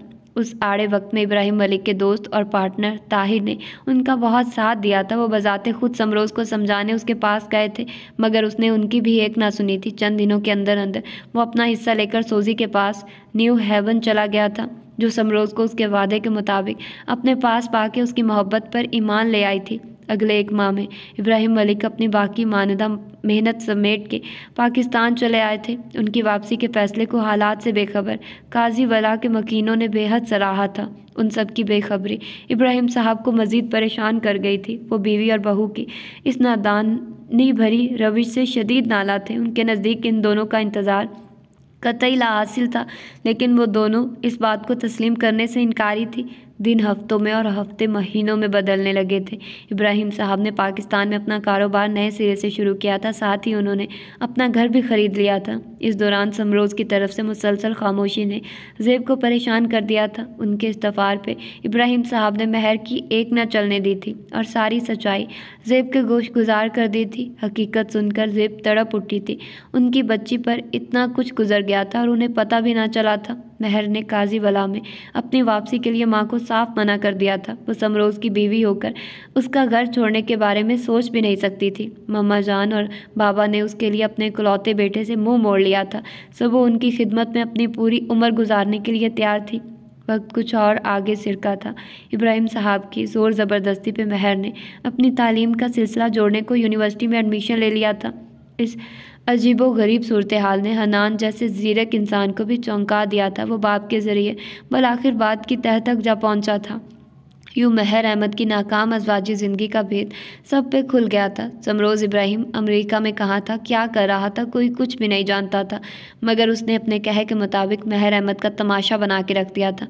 अपना मास्टर्स मुकम्मल करने के बाद महर ने एक कॉलेज में बतौर लेक्चरार जॉब कर ली थी। इस दौरान इब्राहिम साहब ने कितनी ही बार उसे खुला लेकर नए सिरे से ज़िंदगी शुरू करने का मशवरा दिया था। वो खुद को महर की इस बर्बादी के लिए कसूरवार समझते थे, मगर महर ने इस मामले में उन्हें साफ़ लफ्ज़ों में इनकार कर दिया था। उसका दिल समरोज़ की नफ़रत का दुख झेल कर अब किसी से भी मोहब्बत करने के लायक न रहा था।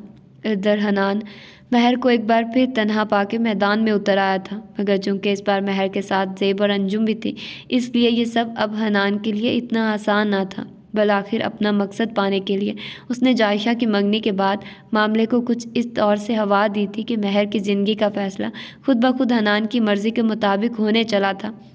साथ ही उसने वक्त ज़ाया किए बगैर सगीर साहब के सामने महर के लिए अपने जज्बात का इजहार भी कर दिया था, मगर महर अहमद की संगीन बेहोशी ने उसकी और समरोज़ इब्राहिम की अलीदगी के मामले को एक बार फिर खटाई में डाल दिया था और हनान सिवाय सर पटखने के और कुछ न कर सका था। एक्सक्यूज़ मी सर आपको डॉक्टर साहब बुला रहे हैं। नर्स के पुकारने पर राहदारी में बैठे इब्राहिम साहब अपने अंदर खुले। सोदो ज़िया के ढेरों खातों को समेटते उठ खड़े हुए थे। महर के चेकअप के बाद डॉक्टर ने उसकी हालत की तरफ़ से इतमान का इजहार करते हुए उसे घर ले जाने की इजाज़त दी थी। उसकी छुट्टी का सुनकर सगीर साहब भी जाशी और नवेरा के हमरा अस्पताल पहुँच गए थे। हनान अलबत्ता झुंझलाहट के बाइस दोबारा अस्पताल नहीं आया था। उसे इस बने बनाए खेल के बिगड़ जाने पर शदीद गुस्सा था। वो सब महर को लेकर इब्राहिम साहब की तरफ़ चले आए थे। साहब जी, आपसे मिलने के लिए कोई साहब आए हुए हैं? दिलशेर की इतला पर इब्राहिम मलिक ने कलाई पे बंदी घड़ी की तरफ़ देखा था, जहाँ रात के आठ बज रहे थे। इस वक्त? नहीं जी, वो तो काफ़ी देर के आए हुए हैं। उसकी बात पे उन्होंने एक थकी हुई सांस ली थी। क्या नाम है? पता नहीं जी। अजीब मुश्किल सा नाम है। दिलशेर के जवाब पे उन्होंने इस बात में सर हिला दिया था। महर को चारों खवतिन एहतियात से पकड़े। आगे बढ़ रही थी, लेकिन अचानक चलते चलते उसका दिल इस तेज़ी से डूब कर उभरा था कि उसके लिए अगला कदम उठाना मुश्किल हो गया था। हिम्मत करो मेरी जान अंजुम बेगम की नरम आवाज़ पे महर ने अपना लब काटते हुए सामने देखा था। ये कैसी बेचैनी उसके रगो जा में समाई जा रही थी। यूँ जैसे कुछ होने वाला हो, परेशानी से सोचते हुए उसने गहरी सांस ली थी और फिर डूबते उभरते दिल के साथ अपने कदम आगे बढ़ा दिए थे। ठहरो, मैं दरवाज़ा खोलती हूँ। जे बेगम ने सरद से आगे बढ़ते हुए दाखिली दरवाज़ा वाक कर दिया था, जिसके खुलते ही वो सब गोया पत्थर के हो गए थे। हैरत का पहाड़ टूटना किसे कहते हैं? यह उन सब के चेहरों पे लिखा था जो बुत बने। एक पल को पल के झपकना भूल गए थे, जबकि महर का डूबता उभरता दिल यखलक साकित हो गया था। उसके रूम रूम में समा जाने वाली बेचैनी का ताल्लुक समरोज़ इब्राहिम से था। उसे यकीन नहीं आ रहा था। उन सब की निगाहें बाइक वक्त उस एक शख्स पे जमी थी और समरोज़ की बेकरार नज़रों की समझ में नहीं आ रहा था कि वो किस चेहरे को अपनी प्यास मिटाने का ज़रिया बनाए। आया उस माँ के चेहरे को, जो आखिरी लम्हे तक उसके पीछे लपकी थी, या उस बाप की सूरत को, जिसकी इज़्ज़त को उसने अपनों और घरों के दरमियान रोंद के रख दिया था, या फिर उस लड़की की, जिसे तीन दिन की सुहागन बना के उसने तीन साल के लिए सूली पर लटका दिया था, और वो न जाने किस मट्टी की बनी थी कि अब तक उस जैसे शख्स का नाम, अपने नाम के साथ लगाए बैठी थी। उसने एक पल को भी उसकी मोहब्बत का जवाब, मोहब्बत से तो दूर इंसानियत तक से ना दिया था, जिसने अपनी ही बीवी की इज़्ज़त को किसी लुटेरे की तरह पामाल किया था और वह बदले में उसकी इज़्ज़त को संभाले था हाल उसके घर में बैठी थी। क्या कसूर था उन तीन इंसानों का? ये कि वो उस जैसे खुद गर्ज की मोहब्बत में मुश्तरका तौर पर गिरफ़्तार थे और बस, और जवाबन उसने उन्हें क्या दिया था? उसने उन तीनों को जूते की नोक पे रखा था और ऐसा करते हुए वो अपनी माँ की पुकार हवा में उड़ा गया था कि खुदा की पकड़ बड़ी सख्त होती है। मगर जब लुरैन के जूते की नोक ने उसकी पसलियों में ज़रब लगाई थी, तब उसे दर्द नहीं, बल्कि उस ज़रब से जुड़ी जिल्लत का एहसास हुआ था। उस खुदाई पकड़ का एहसास हुआ था, जो बिना किसी पेशगी इतला के उस पर मुसलत कर दी गई थी। माइकल से होने वाली मुलाकात ने उस पर उसकी सबसे बड़ी गलती आशिकार कर दी थी। उसे समझा दिया था कि अपने प्यारों के खिलाफ लड़ी जाने वाली जंग में उसने मुँह की खाई थी। तब वो खौफजदा होकर दीवानावार बाज़ार की जानब दौड़ा था। लैपटॉप ख़रीद के लाया था कि कहीं तो किसी तौर वो अपने जहन में उभरने वाले नतीजे को गलत साबित कर सके, खुद को ये बावर करवा सके कि उसने अपने माँ बाप और महर अहमद को छोड़ के कोई गलती नहीं की थी। उसने खुद पे खुलने वाले किसी मदद के दरवाजे को अपने हाथों से बंद नहीं किया था। घर पहुँच के उसने लैपटॉप पर अपना फेसबुक अकाउंट साइन इन किया था और महर अहमद नामी हर लड़की को देख लिया था। मगर कोई भी चेहरा नहीं था। फिर डूबते दिल के साथ उसने ज़िंदगी में पहली बार महर के नाम के साथ अपना नाम जोड़ा था। महर समरोज़ लिख कर एंटर करते हुए उसके दिल ने शिद्दत से दुआ की थी कि ऐसा कोई रिज़ल्ट सामने ना आए। वो उसे अगर तीन दिन के अंदर अंदर छोड़ के चला गया था तो महर अहमद की मोहब्बत को को हवा हवा होने में ज़्यादा से ज़्यादा तीन हफ़्ते लगे होंगे ताकि उसे इस बात का तो सुकून मिल सके कि ख्वाब में देखे जाने वाला दर कम अज़ कम महर अहमद का दर ना था, मगर ऐसा नहीं हुआ था। उसे जीत की नवीद नहीं मिल सक, मिली थी। महर समरोज़ के नाम से चंद एक अकाउंट सामने आए थे और उनमें सबसे ऊपर उसका चेहरा जगमगा रहा था। तहीर के आलम में वो कितनी ही देर साकित नज़रों से अपने सामने मौजूद चेहरे और उसके साथ लिखे नाम को देखता रहा था और कितनी ही देर बाद उसने कामते हाथों से उस नाम को क्लिक कर दिया था। अगले ही लम्हे स्क्रीन महर की छोटी सी तस्वीर के साथ साथ अंजुम बेगम, इब्राहिम साहब, जेब और सगीर काजी की ग्रुप फ़ोटो से भी रोशन हो गई थी। उन चारों की ये तस्वीर उसने कवर फ़ोटो के तौर पर सेट कर रखी थी। मारे अजियत के समरोज़ ने बेख्तियार अपनी आँखें सख्ती से बंद कर ली थी। थूक कर जाऊँगा इस पर और कभी पढ़ के भी नहीं देखूँगा। उसकी अपनी ही आवाज़ बाजगश्त बनकर उसका गुरूर पाश पाश कर गई थी। एक मामूली इंसान होकर उसने इतना बड़ा बोल कैसे बोला था? अपनी ज़रूरत पे वो सच में दंग था। उसने इस शक्ति से अपना निचला लब दांतों तले दबाया था कि खून चलकने को बेताब हो गया था। इसे मैं तब तक अपने नाम के साथ बाँध के घसीटूँगा, जब तक कि इसकी हड्डियाँ गल नहीं जाती। सनसनाता हुआ एक और चाबक उसके वजूद पे पड़ा था और वो दोनों हाथों में सर गिराए फूट फूट के रो पड़ा था। उसने इसी वक्त अपनी गलती सुधारने का फैसला कर लिया था। मार्क ने भी उसके फैसले को सराहा था। अगले दिन वो इब्राहिम साहब के दोस्त ताहिर चौधरी के पास चला आया था। उनसे मिल के उसे बाप के कारोबार की पाकिस्तान मुंतकली से लेकर वहाँ उनके नए घर के पते तक हर बात पता चल गई थी। वो सारी मालूम ली अपने दफ्तर आया था, जहाँ उसने अपने चंद अहम तरीन काम निपटाए थे और आने वाले चंद ही दिनों में वो मार्क और जॉजी की ढेरों नेक तमन्नाएँ समेटे पाकिस्तान के लिए फलाई कर गया था। इस दौरान उसके कदम कहीं ना डगमगाए थे। उसका हौसला कहीं ना टूटा था। वो सब कुछ बर्दाश्त करने के लिए तैयार था, मगर उस पर उन सबको अपने रूबरू पाके उसकी सारी तैयारी धरी की धरी रह गई थी। तुम इब्राहिम मलिक होश में आने वाले सबसे पहले फर्द थे। वो चील की तरह उड़ के समरोज पर झपटे थे। इश्तियाल ने उनका चेहरा अंगारे की तरह दहका दिया था। बेख्तियार सगीर काजी, उन्हें पकड़ने उनके पीछे लपके थे। भाईजान, संभालिए खुद को।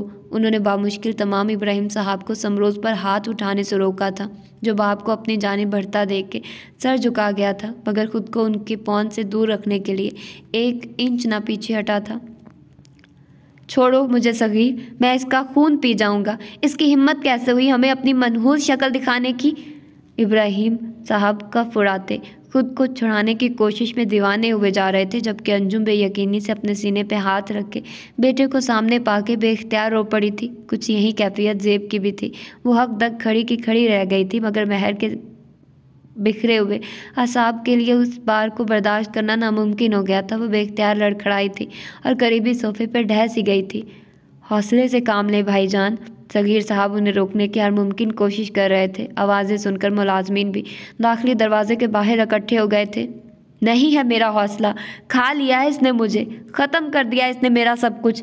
जज्बात की शिद्दत के बायस उनकी आवाज़ फट गई थी। उनकी तड़प और अपनी ख़ताओं ने समरोज़ की आँखों से आँसू जारी कर दिए थे। बाबा, प्लीज़ मुझे माफ़ कर दें, वो हाथ जोड़े आगे आया था। मत दो मुझे ये बाबा नाम की गाली। इसका उन्हें बाबा पुकारना इब्राहिम मलिक पे गज़ब ढा गया था। उन्होंने एक झटके से खुद को छुड़ाया था और आन वाहिद में समरोज़ को उसके गिरबान से पकड़ लिया था। मिस्टर मलिक हूँ मैं, सुना तुमने? मिस्टर मलिक हूँ मैं। पै दर पै उन्होंने तीन चार थप्पड़ समरोज़ के मुँह पर मारे थे। उनकी अंगूठी की ज़रब ने उसका होंठ फाड़ दिया था। उसके चेहरे पर खून उबलता देख के सब खातन की चीखें निकल गई थी। अंजुम तो चकरा के बहन के कंधे पे आ रही थी, जबकि महर ने मारे कर्ब के अपनी आँखें सख्ती से बंद कर ली थी। उसके चेहरे पे आँसू जारों कतार बह रहे थे। उस दुश्मन ने जाकर यह हाल देखना भी उसके लिए कहाँ मुमकिन था। उसकी जान तो दोहरी अजियत में आ फंसी थी। तुम हमारे लिए मर गए हो, उसे कॉलर से घसीटते इब्राहिम मलिक बाहर की तरफ़ बढ़े थे। खुदा का वास्ता है। छोड़ दे भाईजान। नवेरा और जायशा ने तेज़ी से अंजुम बेगम को संभाला था और जेब तड़प कर बहनोई की तरफ़ भागी थी। भाईजान, यूँ ना करें।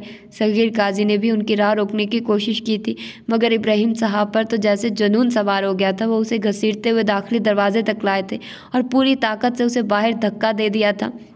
वो मुलाजमीन के सामने मुँह के बल फर्श पे जा गिरा था। धाड़े मार मार कर रोती जेब दीवाना वार समरोज़ की जाने बढ़ी थी, मगर इब्राहिम साहब की धार उनके पैरों में जंजीर डाल दी थी। किसी ने भी अगर उसे हाथ लगाया तो वो मेरे लिए मर गया। उनकी इस तनबीह के बाद हर कोई अपनी जगह पर जामिद हो गया था। समरोज़ अपने मुँह और नाक से बहते खून को हाथ की पुष्ट से साफ़ करता उठ बैठा था। उसका मोबाइल जेब से निकल के ज़मीन पर गिर गया था, मगर उसे किसी चीज़ का होश ना था। वो दोनों हाथ बांधे, अपना बेवज़न वजूद लिए, उठ खड़ा हुआ था। मुझे माफ़ कर दे, मुझे माफ़ कर दे बाबा, उसकी सिस्कियाँ अजियत से पुर थी। दिल शेर रियाज इसे ले जाकर घर से बाहर फेंक दो और दोबारा इस शख्स के लिए दरवाज़ा मत खोलना। उसकी हर इल्तजा नज़रअंदाज किए वो कड़े लहजे में मुलाजमीन से मुखातिब हुए थे, जो घबरा के सर हिलाते आगे बढ़े थे और समरोज़ को दोनों बाजुओं से पकड़ कर ज़बरदस्ती खींचने लगे थे। कहीं नहीं जाऊँगा मैं। चाहे मुझे बाहर फेंकवा दें, मैं इस दर से कहीं नहीं जाऊँगा। मुलाजमीन के साथ घसीटते हुए उसकी आहो फगाब बुलंद हुई थी। महर ने बेख्तियार अपने कानों पे हाथ रख लिए थे। उसके आँसू उसकी तड़प जेब की बर्दाश्त से भी बाहर हो गई थी। वो दुबट्टे में मुँह दिए। फूट फूट के रो पड़ी थी, मगर इब्राहिम मलिक अपनी जगह से टस से मस ना हुए थे। वो तब तक दरवाजे में खड़े रहे थे, जब तक मुलाजमों ने समरोज़ को बाहर धकेल के गेट बंद ना कर दिया था। रात के दस बजने को थी, मगर हर एक के सदमे की कैफियत में थी। समरोज़ को घर से निकाल के इब्राहिम साहब अपने कमरे में बंद हो गए थे। अंजुम खनुदगी के कैफियत में महर के बिस्तर पर पड़ी थी, लेकिन इस हाल में भी आँसू उनकी बंद आँखों से टूट टूट कर उनकी कन पट्टियों में जज़ब हो रहे थे और महर मुतहरम चेहरे के साथ खामोश बैठी थी। जेब सगीर साहब, जाशी नवेरा सभी उसके पास मौजूद थे, मगर इस हजूम में भी वो बिल्कुल अकेली थी, तनहा और बेकरा कितने ही मंजर। कितनी ही बातें जहन के पर्दे पर उभर और मिट रही थी। क्या कुछ ना सहा था उसने, क्या कुछ ना सुना था उसने। अपने शोहर की बद किरदारी उसकी नफ़रत, उसके हाथों अपने खुद वजूद की तजलील, अपनी ज़ात की तजलील, और यह सब उसने तनहा बर्दाश्त किया था। हती कि आज तक उसने अपने ये ज़ख़म अपनी माँ को भी नहीं दिखाए थे। उसने अपने सास ससुर से भी समरोज़ की बद किरदारी का कभी गिला ना किया था। मगर आज जब वो लौट आया था तो दिल नीम जहाँ पर लगा हर ज़ख़म लो देने लगा था। क्यों? किस लिए? उसकी हदों को चूती नफ़रत, भला यूँ अचानक कहाँ गायब हो गई थी? या फिर यह समरोज़ इब्राहिम का कोई नया समांग था? दौलत के लिए या अपने किसी और गर्ज के लिए, वो क्या कह सकती थी भला? उसने तो हमेशा की तरह महर को कुछ बोलने के काबिल ही नहीं छोड़ा था। आपको पता है भाई, समरोज़ भाई वापस आ गए हैं। जाशी हनान को मतला करने के घर से अपना फ़ोन लिए। लाउंज में चली आई थी और लाइन के दूसरी तरफ़ ड्राइव करते हनान पे पहाड़ टूट पड़ा था। क्या? गाड़ी का स्टेयरिंग उसके हाथ से छूटते छूटते बचा था। उसने सरल से अपने जहन को हाजिर रखते हुए गाड़ी को संभाला था। मगर कब, कैसे, उसकी फटी हुई आँखें, विंड स्क्रीन पर मरकूज थी। जवाब में जाशी ने सारा वाक़ पूरी तफसील के साथ भाई के गोश गुजार कर दिया था, जिसने परेशानी के आलम में बेख्तियार अपना सर थाम लिया था। ये क्या हो गया, हनान काजी? उसने इस दराब की कैफियत में खुद से सवाल किया था। अब कहाँ है वो? बामुश्किल तमाम खुद को ट्रैफ़िक के धारे से अलग करते हुए उसने गाड़ी एक तरफ़ रोकी थी। बाहर ही बैठे हैं। और हना ने नाकाबिल यकीन अंदाज में एक गहरी सांस लेते हुए मुठियाँ भींच ली थी। आप आएँगे यहाँ? जाशी के सवाल पर वह भुना उठा था। मेरा क्या काम है वहाँ? जो मर्ज़ी करें ये लोग। उसके तल्ख लहजे पे जाशी ने मज़ीद कुछ कहे। रबता मुनकता कर दिया था। हनान ने हाथ में पकड़ा फ़ोन एक तरफ़ पटकते हुए। बेख्तियार स्टीयरिंग पर हाथ दे मारा था। ओह गॉड! बावाज़ बुलंद अपना गुस्सा निकालते हुए उसने दोनों हाथों से अपने बाल जकड़ लिए थे। ये क्या हुआ हो गया था? ये समरोज़ इब्राहिम कैसे लौट आया था? वहशत से सोचते हुए उसने बेचैनी से अपनी पेशानी मसली थी। क्या करूँ क्या करूँ? इस तरह के आलम में बंद मुट्ठी लबों पे जमाए उसने जल्द से जल्द समरोज़ इब्राहिम से नजात हासिल करने का कोई तरीका सोचना चाहा था और तभी बिल्कुल अचानक एक बहुत अजीब हल उसे सूझ गया था। हाँ ज़बरदस्त। इसके अलावा कोई रास्ता नहीं। खुद कलामी करते हुए उसने दूसरी सीट पर पड़ा। फ़ोन जल्दी से उठाया था। उसके पास वक्त बहुत कम था, अगले ही लम्हे उसकी उंगलियाँ। अपने ख़ास दोस्त का नंबर मिलाने लगी थी, जो कि एक असर सियासी शख्सियत था। Hello hello Faiz. दूसरी तरफ़ कॉल रिसीव होते ही वो बेचैनी से बोला था। हाँ हनान, कैसे याद किया? उसकी भारी आवाज़ खुशगवार थी। मुझे तेरी मदद की अशुद्ध ज़रूरत है फैज़। वो सीधा मुद्दे पे आया था। हाँ बोल, एक बंदे को उठवाना है, अभी इसी वक्त। उसकी बात पे एक लम्हे को दूसरी तरफ़ खामोशी छा गई थी। ठीक है हो जाएगा। और हनान का परेशानी में डूबा चेहरा बेख्तियार खिल उठा था। कौन है वो? उसके इस्तफ़ार पे हनान उसे समरोज़ इब्राहिम के बारे में आगाह करने लगा था। सारी बात सुन के फैज़ ने हनकारा भरा था। हम्म, तो ऐसा कर उनके घर के बाहर पहुंचकर बंदे की सही पोजीशन से मुझे आगाह कर। मैं यहाँ से बंदे रवाना करता हूँ। ठीक बहुत बहुत शुक्रिया फैज़ इस काम के बदले मैं तो तू जान भी मांगेगा ना तो दे दूँगा। हनान की बात पर फैज़ बेख्तियार हंस पड़ा था। वो बात की बात है, फ़िलहाल तो वहाँ पहुँच। और हनान ने फ़ोन बंद करते हुए गाड़ी स्टार्ट कर दी थी। मैं इस बार तुम्हें किसी कीमत पर नहीं जीतने दूँगा, समरोज़ इब्राहिम। नफ़रत और रकाबत की आग ने उसे सच में बिल्कुल अंधा कर दिया था। रात का एक बज रहा था जब सगीर काजी घर जाने के इरादे से तनहा पोर्च में आए थे। उन्हें बाहर आता देख के दिल शेर तेज़ी से उनकी जानब लपका था। साहब जी, ये फ़ोन शायद इस लड़के का है। यहाँ गमले के पीछे गिरा, पता नहीं कब से बज रहा था। उसने हाथ में पकड़ा मोबाइल, सगीर साहब की तरफ़ बढ़ाया तो उनकी नज़रें फ़ोन पे आ ठहरी, जिसकी स्क्रीन चटक चुकी थी। जाकर उसे दे आओ। गया था, मगर वो अब बाहर नहीं है। दिलशेर की बात पे उन्होंने फ़ोन पकड़ लिया था। तभी अचानक वो फिर से बजने लगा था। स्क्रीन पे किसी माँ का नाम देखकर उन्होंने चंद लम्हों के तजब्जुब के बाद कॉल रिसीव कर ली थी। Hello hello Sam. कब से कॉल करते? मार्क ने बेचैनी से उसे पुकारा था। सॉरी, वो यहाँ नहीं है। सगीर साहब ने इंग्लिश में जवाब दिया था। उनकी बात पे मार्क बेख्तियार थम गया था। आप कौन बोल रहे हैं? मैं? सगीर साहब एक पल को रुके थे। मैं उनका अंकल बात कर रहा हूँ। उनके तारुफ ने मार्क पे शादी मर की कैफियत तारी कर दी थी।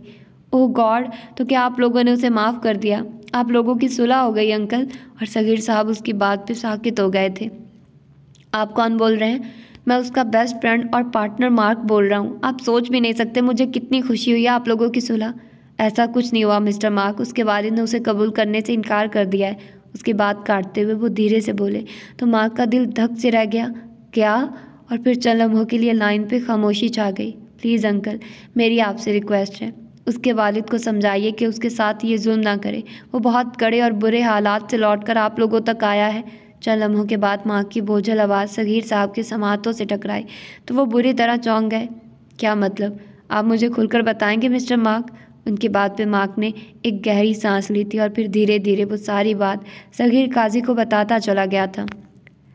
समरोज़ की जिस वक्त आँख खुली इर्द गिर्द खूब अंधेरा था। इतना अंधेरा कि एक पल के लिए उसकी समझ में ही नहीं आया था कि आया वो उठ चुका है या अब भी सो रहा है। इस अंधेरे ने उसे घबराहट में मुबतला कर दिया था। उसने बेचैनी से अपने वजूद को जुम्बिश देना चाही थी, मगर उसे एहसास हुआ था कि उसके हाथ और पाँव बंधे हुए थे। उसकी घबराहट यखलक दो चंद हो गई थी। उसने बेख्तियार किसी को मदद के लिए पुकारा था और तब एक जमाके के साथ उसके जहन में वो मंज़र ताज़ा हो गया था। जब घर के बाहर बैठे हुए उसके एन सामने एक गाड़ी आकर रुकी थी और अचानक उसमें से चंद आदमी निकल कर उसके सर पे आ खड़े हुए थे।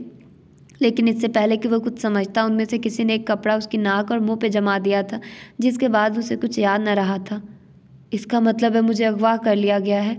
ओह नो, डूबते दिल के साथ उसने मतवेश नज़रों से अपने इर्द गिर्द छाए अंधेरे को देखा था और अगले ही लम्हे उसकी मदद के लिए चीखों पुकार अरूज पे पहुँच गई थी। ऐसे में अचानक किसी अनजानी सिम से कुंडी की आवाज़ उसे बेख्तियार खामोश करवा गई थी। वो दम साधे आने वाली आहट पे कान जमा गया था। तभी उसके दाहिनी तरफ़ से दरवाज़ा खुला था और स्विच की आवाज़ के साथ ही कमरा रोशनी में नहा गया था। रोशनी के चुभन ने समरोज़ को आँखें बंद करने पर मजबूर कर दिया था। तशरीफ़ लाए सरकार कदमों की धमक के दरमियान उसे फर्श पे कुर्सी घसीटने की आवाज़ आई थी। समरोज़ ने ज़बरदस्ती अपनी आँखें खोलते हुए उन लोगों को देखने की कोशिश की थी। उसके एन सामने रखी गई कुर्सी पर एक शख्स बड़े करोफर से टांग पर टांग जमा कर बैठ गया था। उसकी कुर्सी के इर्द गिर्द तीन असला बरदार आदमी खड़े थे। वो चारों अफराद समरोज़ के लिए बिल्कुल अनजान थे। कौन हो तुम लोग? उसकी खौफजदा आँखें कुर्सी पे बैठे फैज़ के चेहरे पे आ ठहरी थी, जिसके लबों पे इस्तजाइया मुस्कुराहट फैल गई थी। हम तुम्हारी बीवी के बाराती हैं, समरोज़ इब्राहिम। और समरोज़ को ज़िंदगी में पहली बार महर का हवाला किसी दूसरे मर्द के मुँह से सुनकर शदीद नागवार गुजरा था। क्या बक रहे हो? उसकी आँखों में मौजूद खौफ या कया गुस्से में ढल गया था। बक नहीं रहा। सही कह रहा हूँ, क्योंकि तुम अभी इसी वक्त उसे तलाक देने वाले हो। यही तुम्हारी रिहाई की कीमत है।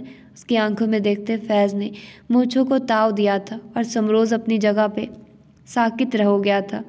किसने रखी है यह कीमत? मेरे मेरे बाबा ने। उसकी आवाज़ शदीद बेयकीनी में डूबी हुई थी। समरोज़ की बात फैज़ को चौंका गई थी। तो क्या तुम्हारा बाप भी तुम्हारी बीवी की तुमसे गुलो खलासी चाहता है? वो महजूद सा बोला तो समरोज़ के सीने में अटकी सांस बहाल हो गई। वगरना इब्राहिम मलिक की इस दर्जा नफ़रत का सोचकर तो उसका जहन माउफ हो गया था। अरे यार, इतने बुरे शोहर हो तो जान क्यों नहीं छोड़ देते उस बेचारी की? फैज़ का मुस्कुराकर। कसा गया जुमला, समरोज़ के तन बदन में आग लगा गया था। बकवास बंद करो अपनी और कान खोल कर सुन लो, मैं किसी भी कीमत पर अपनी बीवी को तलाक नहीं दूँगा। चाहे जान से हाथ धोने पड़े, फैज़ के चेहरे पर यखलक सर्द मोहरी फैल गई थी। बिल्कुल, समरोज़ ने कतियत से उसकी आँखों में देखा था। दोनों की नज़रें चंद सानिए के लिए एक दूसरे से बंधी रही थी और फिर फैज़ ने रुख अपने बंदों की जानी मोड़ लिया था। चलो फिर, तवाज़ो करो साहब की। उसके हुक्म पे दो बंदे समरोज़ की तरफ़ बढ़े थे और अगले ही लम्हे उसका वजूद उन दोनों आदमियों के रहमो करम पे आ गया था। मार्ग से समरोज़ पे गुजरने वाले हालात की पूरी रोदात सुन के सगीर साहब शल हो गए थे। वो कितनी ही देर माउफ जहन के साथ बाहर टहलते रहे थे। और फिर एक नतीजे पर पहुँच के तेज़ कदमों से अंदर चले आए थे। उनका रुख सीधा इब्राहिम साहब के कमरे की तरफ़ था। कितनी ही मिन्नतों के बाद वो इब्राहिम मलिक को उनके कमरे से निकालने में कामयाब हुए थे। उन्हें अपने साथ लिए वो महर के कमरे में चले आए थे, जहाँ सारी खवतिन मौजूद थी। सबकी हैरत भरी नज़रों के जवाब में उन्होंने सिर्फ़ समरोज़ के मोबाइल के मिलने और उसके दोस्त माँ की कॉल के आने का ज़िक्र किया था और फिर उन्होंने माँ को कॉल करके उसे समरोज़ की फैमिली की अपने साथ मौजूदगी के बारे में बताया था। माँ का नाम सुनकर इब्राहिम मलिक चौंक गए थे। वो उसे याल के हवाले से जानते थे। सगीर साहब ने उससे सारी बात नए सिरे से दोहराने की दरख्वास्त करते हुए मोबाइल का स्पीकर खोल दिया था। मार्क ने धीरे धीरे गुजरे। तीन सालों को लफ्ज़ों में ढालना शुरू कर दिया था। सोजी से उसकी शादी का सुन के महर की आँखों से आँसू कतरों की सूरत गिरने लगे थे। कुछ यही कैफियत अंजुम बेगम के दिल की भी थी। उन्हें यहाँ सूली पे लटका के उसने कितने आराम से वहाँ अपनी मन चाही दुनिया बसा ली थी।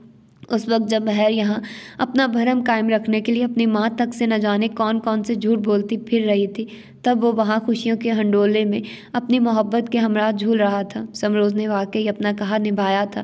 उसने दूर रह कर भी अपनी ज़ात से महर को कोई खुशी नहीं मिलने दी थी, लेकिन जो जो माँ की गुफ्तगु लॉरेन की तरफ़ पेश रफ्त करती गई, सब सुनने वालों के रंग बदलते चले गए थे।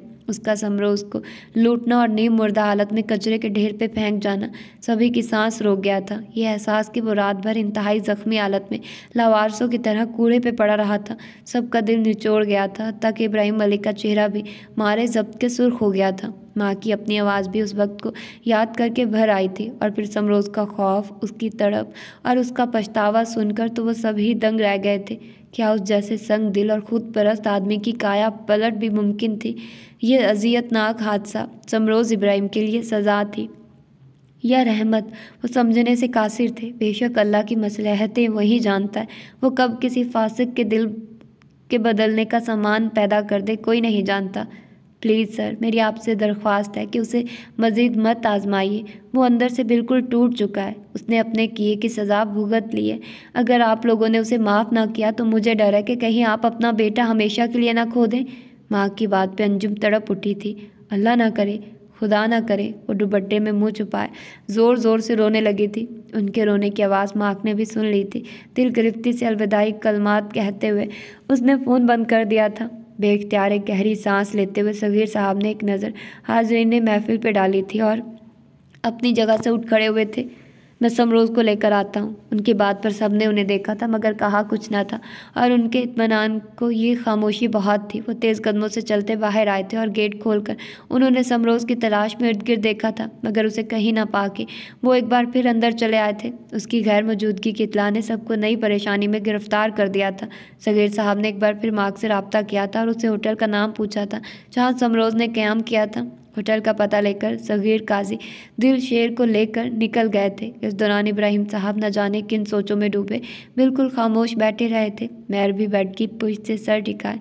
गुमसुम सी हो गई थी। सब कुछ इतना अचानक और इतना अजीब था कि उसका जहन यखलक एक खाली स्लेट में तब्दील हो गया था। उसे आने वाले वक्त के हवाले से कुछ समझ में नहीं आ रहा था। उधर रात के उस पहर। सगीर साहब को बहुत मुश्किल से होटल के अंदर जाने की इजाज़त मिली थी, मगर समरोज़ को वहाँ भी ना पाके। सगीर साहब बुरी तरह परेशान हो गए थे। इसी परेशानी में वो वापस मलिक साहब की तरफ़ आए थे। समरोज़ के होटल से भी गैर मौजूदगी की खबर ने घर वालों को मुतहश कर दिया था। उन्होंने इर्द गिर्द का सारा इलाका छान मारा था, मगर समरोज़ का कहीं पता नहीं चला था। इसी परेशानी में रात तमाम हुई थी और अगला दिन निकल आया था, मगर ये दिन भी शदीद मायूसी की नज़र हुआ था। समरोज़ अचानक कहाँ चला गया था, कोई कुछ नहीं जानता था। घर में कहराम बरपा हो गया था। रात तक इब्राहिम मलिक का हौसला भी जवाब दे गया था और बल आखिर उन्होंने पुलिस से रबता कर लिया था। हनान अभी अभी सगीर काजी के साथ इब्राहिम साहब की तरफ़ से लौटा था। मामला पुलिस के हाथ में चले जाने से वो खासा परेशान हो गया था। घर पहुंचकर उसने सगीर साहब के अपने कमरे में जाने का बेचैनी से इंतज़ार किया था और जब उसके कमरे का दरवाज़ा बंद होने की आवाज़ आई, तब वो लाउंज से उठकर दबे कदमों टेरिस पर चला आया था। अब उसे उसकी बदकिस्मती कहिए या कुछ और, कि सगीर साहब कपड़े तब्दील करके कुछ देर लॉन में खुली हवा में टहलने के इरादे से कमरे से दोबारा बाहर चले आए थे। उनका रुख नीचे जाने वाली सीढ़ियों की तरफ़ था, लेकिन अचानक उन्हें इर्द गिर्द छाई खामोशी में टेरिस का दरवाज़ा खुलने और फिर आहिस्तगी से बंद होने की आवाज़ ने अपनी जगह पर रुक जाने पर मजबूर कर दिया था। उन्होंने ठटक कर ऊपर जाते जीने की तरफ़ देखा था और अगले ही लम्हे चेक करने के इरादे से तेज़ी से ऊपर को बढ़ गए थे। एहतियात से छत का दरवाज़ा खोलते हुए। उन्होंने टेरिस पे झांका था, जो अंधेरे में डूबा हुआ था। वो आहिस्की से ऊपर दाखिल हुए थे। उनका हाथ दरवाजे के साथ ही दीवार में लगे स्विच की तरफ़ बढ़ा था, मगर इससे पहले कि वो लाइट जलाते, उन्हें पानी की टंकी की दूसरी तरफ़ से हनान के बोलने की आवाज़ आई थी, और वो बुरी तरह चौंक गए थे। हनान, इस वक्त यहाँ? अंधेरे में क्या कर रहा है? दिल में सोचते हुए वो उसे देखने की नीयत से चाँद की रोशनी में ही आगे बढ़े थे, मगर टंकी के करीब पहुँचे थे कि दूसरी तरफ़ से अनान की आवाज़ ने उन्हें अपनी जगह पर साकित कर दिया था। देख फैज़, मामले में पुलिस इन्वॉल्व हो गई है। तुझे जल्द जल्द इससे दस्तखत लेने होंगे। और सगीर काजी की मारे बेयकीनी के सांस रुक गई थी। क्या हनान समरोज़ के बारे में बात कर रहा था? डूबते दिल के साथ उन्होंने बेख्तियार दीवार का सहारा लिया था, जबकि अनान लहजा भर को रुक के दूसरी तरफ़ की बात सुनने लगा था। क्या कहा? अब भी नहीं मान रहा। इतनी मारपीट के बावजूद भी समरोज़ का ताहाल अपनी बात पे डटे रहने की इतला ने उसे हैरत में मुबतला कर दिया था। ठीक है, फिर मारो उसकी टांग में एक गोली ताकि ये इस तलाकनामे पर दस्तखत करे वो दांत पीसते हुए बोला था और सगीर साहब की आँखों के सामने ज़मीन आसमान घूम गए थे। ये कैसा भयानक इंकशाफ था। समरोज़ के गायब होने में उनके बेटे का हाथ था, उन्हें यकीन नहीं आ रहा था। बेख्तियार उनके कानों में, हनान की आवाज़ गूंजने लगी थी। मैं महर को अपनी ज़िंदगी में शामिल करना चाहता हूँ, डैड। मैं महर से मोहब्बत करने लगा हूँ और सगीर साहब ने अपना चकराता सर थाम लिया था। ओह, खुदाया तो इस लड़के ने यह जलील हरकत महर को हासिल करने के लिए की है। ये इन दोनों में ज़बरदस्ती तलाक करवाना चाहता है। उनकी रगों में खून की जगह यकायक लावा दौड़ने लगा था। उन्होंने, आओ देखा न ताओ और तेज़ कदमों से आगे बढ़े थे। उनकी आम से बेखबर हनान फैज़ को हर हाल में ये मामला कल शाम तक निपटाने की ताकीद कर रहा था, मगर अपने पीछे अचानक कदमों की धमक सुन के वो सरत से पलटा था और बाप को अपने रूबरू पाके उसके ऊपर की सांस ऊपर और नीचे की सांस नीचे रह गई थी। जलील कमीने, उनका हाथ उठा था और वह यके बाद देख रहे, दो तीन थप्पड़ हनान के मुँह पर मारते चले गए थे। तू मेरा बेटा होकर इतनी गिरी हुई हरकत करेगा। मैंने कभी ख्वाब में भी नहीं सोचा था। हलक के बल चलाते हुए उनकी आँखें मारे गज़ब के उबल पड़े थे। हनान का चेहरा बिल्कुल फक हो गया था। सगीर साहब ने चपट कर उसके हाथ से मोबाइल पकड़ते हुए कान से लगाया था, मगर दूसरी तरफ़ भी शायद उनकी आवाज़ सुन ली गई थी। तभी कॉल काट दी गई थी। उन्होंने खूना शाम ने कहा बुत बने, हनान पे डाली थी और पलट कर लंबे लंबे डग भरते, दरवाजे की जाने बढ़ गए थे। उन्हें जाता देखकर हनान को जैसे होश आ गया था। वो मुतवही सा उनके पीछे लपका था। डैडी, प्लीज़ डैडी मेरी बात सुने। मगर वो उसकी पुकार नज़रअंदाज किए कदम उठाते जा रहे थे। बल आखिर हनान को ही भागकर उनकी राह में आना पड़ा था। साथ ही उसने हाथ बढ़ाकर टेरिस की लाइट जला दी थी। रोशनी में उसके चेहरे पर निगाह पड़ते ही सगीर साहब की मुठियाँ सख्ती से भिंच गई थी। हनान, मेरे रास्ते से हट जाओ, वरना मैं खुद को ख़त्म कर लूँगा। उनका एक एक लफ्ज़ अपनी जगह पर अटल था। प्लीज़ डैडी, एक बार, सिर्फ़ एक बार मेरी बात तो सुने। उसकी आवाज़ में इल्तजा ही इल्तजा थी। तुम्हारी और मेरी बात अब सिर्फ़ सिर्फ़ और सिर्फ़ पुलिस के सामने होगी। उसकी आँखों में देखते हुए वो कतियत से बोले तो हनान की रूह पना हो गई। प्लीज़ डैड, ये ना कीजिएगा। मेरी मेरी ज़िंदगी तबाह हो जाएगी। तो तुम्हें समरोज़ और महर की ज़िंदगी तबाह करते शर्म नहीं आई, खबीस इंसान? यखलक धाड़ते हुए उन्होंने उसे गिरेबान से पकड़ लिया था। उनके सवाल ने हनान को नज़रें झुकाने पर मजबूर कर दिया था। सारी ज़िंदगी तुम उस भली औरत के सब्र को आजमाते रहे, मगर उसने अपनी ममता का हाथ तुम्हारे सर से नहीं उठने दिया। उस मासूम और यतीम बच्ची को अपनी नफरत की आग में झोंकते रहे, मगर उसने कभी तुम्हारे रवैये की मुझसे शिकायत नहीं की। और आज तुम उस सादा दिल लड़की का घर अपनी नाम नहाद मोहब्बत के नाम पे उजाड़ने चले हो? अरे, तुम में खुदा का खौफ है या नहीं? उन्होंने एक झटके से उसे पीछे धकेला था। मैं उससे मोहब्बत करता हूँ, डैडी। मैं महर के बगैर नहीं रह सकता। उसने शकिस्तगी से बाप की तरफ़ देखा था। मोहब्बत? मोहब्बत के मफहूम से आशना भी हो तुम? उनकी आँखों में सजाया रंग फैल गए थे। मोहब्बत सिर्फ़ पाने का नाम नहीं है अनान, ये बहुत सी खामोश कुर्बानियों का नाम भी है। महर एक शादीशुदा लड़की है। फिर तुमने अपने जज्बात उससे मंसूब क्यों किए? क्यों इस गुनाह का इरतकब किया? मैंने कोई गुनाह नहीं किया। मैं उसे तब से चाहता हूँ जब मुझे उसके निकाह के बारे में कोई इल्म ना था। इस इनकशाफ पे सगीर साहब एक पल को खामोश हो गए थे। लेकिन जब इल्म हो गया था, तब तुम्हें अपने कदम रोक लेने चाहिए थे। उनका लहजा बोझल हुआ। क्यों रोक लेता? उस समरोज़ ने मेहर का, को दिया ही क्या है? हनान की पेशानी शिकन आलूद हो गई थी। समरोज़ ने महर को कुछ दिया है या नहीं, ये उनका ज़ाती मामला है। तुम्हारे लिए गौर तलब बात सिर्फ़ ये होनी चाहिए कि क्यों हम सब की हर तरह की ज़ोर ज़बरदस्ती के बावजूद महर कभी अपने शोहर का नाम, अपने नाम से अलग करने के लिए राज़ी नहीं हुई। क्या वो समरोज़ बहुत चाहने वाला और कदरदान शोहर था? नहीं, वो महर की मोहब्बत था, इसलिए हरनान बाप की तरफ़ देखता, थम सा गया था। महर के दिलो दिमाग पे। सिर्फ़ एक ही शख्स का राज है और आज से नहीं, सालहा साल से है। वो उसकी कम उम्री का अवलिन ख्वाब है। वो उससे लड़ सकती है, मुँह मोड़ सकती है, मगर इस ताल्लुक़ को फना नहीं कर सकती। ऐसी सूरत हाल में तुम अगर उसे हासिल कर भी लोगे तो क्या उसके दिल पे अपना नाम लिख पाओगे? क्या उसे सर तपा, अपना बना पाओगे? कभी उसकी आँखों में देखते हुए उन्होंने सवाल किया तो अनान के अंदर हकीकत की तरफ़ गर्द उड़ने लगी। नहीं हनान। तुम ऐसा कभी नहीं कर पाते। महर की ज़िंदगी में अगर समरोज़ इब्राहिम सिरे से मौजूद ही ना होता, तब भी तुम कम अज़ कम महर अहमद के दिल पे अपना नक्श नहीं छोड़ सकते थे, क्योंकि तुम वो शख्स हो जिसने घर की इज़्ज़त को, जिसे तुम्हारे बाप ने अपनी बेटी का दर्जा दे रखा था, उसे वो चोट पहुंचाई, जिसे वो कभी चाहे भी तो भुला ना सकेगी। फिर तुम अब किस बलबूते पे ये तमाशा कर रहे हो? तुम्हें तुम्हारी इंतहा पसंदी ने कहीं का नहीं छोड़ा। तुम इस खेल में उस दिन ही हार गए थे, जब तुमने उस नौ उम्र लड़की के वजूद पे पहली आलूदा निगाह डाली थी। ये अलग बात है कि तुमने अपनी शिकस्त को कभी तस्लीम नहीं किया। पहली बार ज़िंदगी में, पहली बार उसके ज़मीन ने उसका एहतसाब किया था और उस पहली ही कोशिश में वो लाजवाब हो गया था। उस खुद एहतसाबी ने उसकी आँखों में शिकस्तगी की नमी बिखेर दी थी, जो मुकाबिल खड़े सगीर साहब से छुपी न रह सकी थी। वो धीरे धीरे कदम उठाए, उसके करीब चले आए थे। महर ने अपनी ज़िंदगी में बहुत तकलीफ़ें देखी अनान। खुदारा, तुम तो उसे मज़ीद तकलीफ़ ना दो। बोझल लहजे में कहते उन्होंने उसका फ़ोन उसकी तरह बढ़ा दिया था। हनान का चेहरा जज्बात की शिद्दत से सुर्ख हो गया था।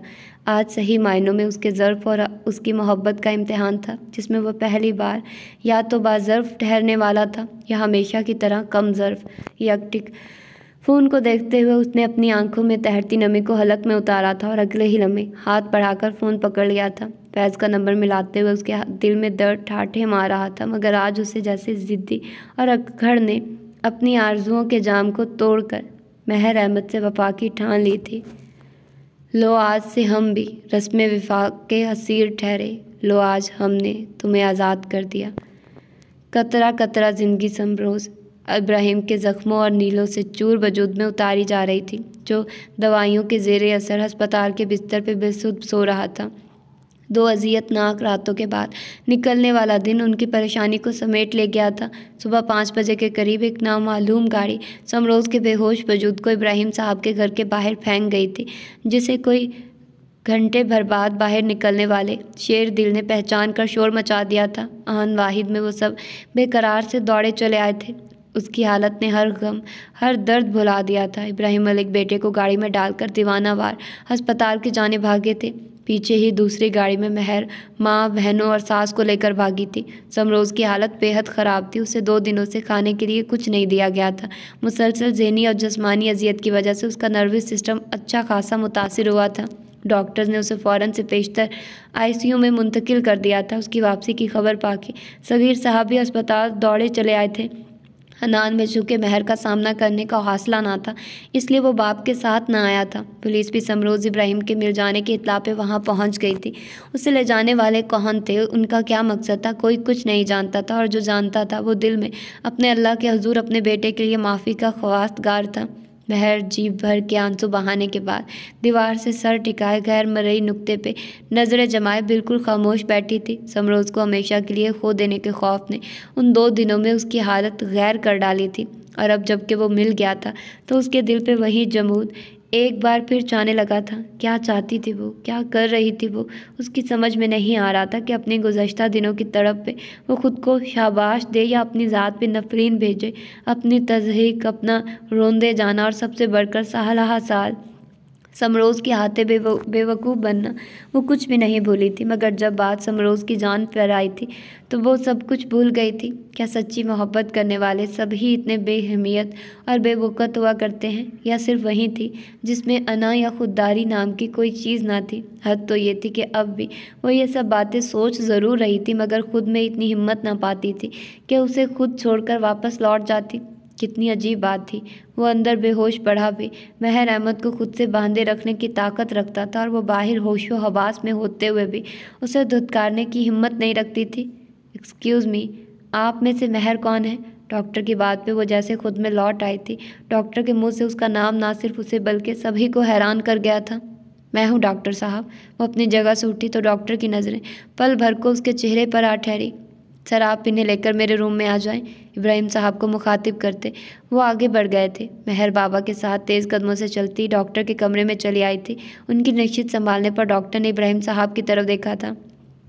सर, ये आपकी बहू है? जी। इब्राहिम साहब की उलझन ताहाल बरकरार थी, माजरत के साथ। लेकिन क्या आपके बेटे और बहू में अलीदगी का कोई मसला चल रहा है? उन्होंने रसान से सवाल किया तो इब्राहिम मलिक के साथ साथ महर भी बुरी तरह चौंक गई। थोड़ी चपकलिश ज़रूर है, लेकिन अलीदगी की तो कोई बात नहीं हुई। इब्राहिम साहब की समझ में नहीं आ रहा था कि वो क्या जवाब दे। मगर आप ये सब क्यों पूछ रहे हैं, डॉक्टर साहब? इसलिए कि आपका बेटा नींद की दवाइयों के ज़ेर असर भी अपनी वाइफ का नाम ले रहा है और किसी तरह के कागज़ पर दस्तखत से इनकार कर रहा है। डॉक्टर की बात पे इब्राहिम साहब तो साकित हुए ही थे, लेकिन महर का पूरा जिसम सुन हो गया था। समरोज़ इब्राहिम और उसके लिए बेचैन बेख्तियार उसके कानों में वो काटदार अल्फाज गूंजने लगे थे, जिन्होंने उसके दिल को यूँ ज़ख्मी किया था कि लहू आज भी रस्ता था। थूक कर जाऊँगा इस पे और कभी पलट के भी नहीं देखूँगा, मगर उसके अल्लाह ने ना सिर्फ़ उसे पलटने पर, बल्कि महर के सामने घुटने टेकने पर भी मजबूर कर दिया था और वो उसे खुली आँखों से दोबारा देखने का रवादार ना था। अल्लाह ने उसकी बंद आँखों में भी महर के छिन जाने का खौफ मुंजमद कर दिया था। क्या इससे बेहतर भी भला कोई इंसाफ हो सकता है? इब्राहिम साहब के घर में रौनक अपने अरूज पे थी। आज पूरे पाँच दिन बाद समरोज़ के अस्पताल से घर वापसी हुई थी। होश में आ जाने के बाद समरोज़ ने रो रो के अपने माँ बाप से माफ़ी मांगी थी और उन्होंने उसे क्या कहना था भला? वो तो उसे पहले ही माफ़ कर चुके थे। महर अलबत्ता उसके होश में आने का सुनकर घर लौट गई थी। सबने उसे जाते देखा था मगर किसी ने उसे कुछ न कहा था। उसकी वापसी का सुन के समरोज़ को चुप लग गई थी। आने वाले चार दिन वह अस्पताल में रहा था, लेकिन उसका इंतज़ार इंतज़ार रहा था। महर दोबारा नहीं लौटी थी। समरोज़ के अगवाकारों का क्या मुतालबा था? और उस पर वहाँ क्या गुजरी थी, उसने बताने से इनकार कर दिया था। वो जो भी थे और जिसके भी बंदे थे, उसके हक़ में तो भलाई कर गए थे। उसके घर वालों ख़ानदान वालों के दिल उसके हक़ में नरम हो गए थे। उसे और कुछ नहीं चाहिए था। वो माँ का भी बेहद शुक्रगुजार था, जिसने एक बार फिर खुद को एक बेहतरीन इंसान और उसका बेहतरीन दोस्त साबित किया था। अलबत्ता महर की ज़ात अब तक उसके लिए एक सवालिया निशान थी। वो क्या ठाने बैठी थी, समरोज़ कुछ नहीं जानता था। उसने तो उसे उन अवलिन लम्हों के बाद अब तक देखा भी ना था। घर आकर भी उसकी नज़रें बेकरारी से उसे तलाशती रही थी, मगर वो उसे कहीं दिखाई नहीं दी थी और किसी से पूछने का उसका मुँह नहीं पड़ रहा था। बाबा, मैं थक गया हूँ, मुझे किसी कमरे में ले चलें।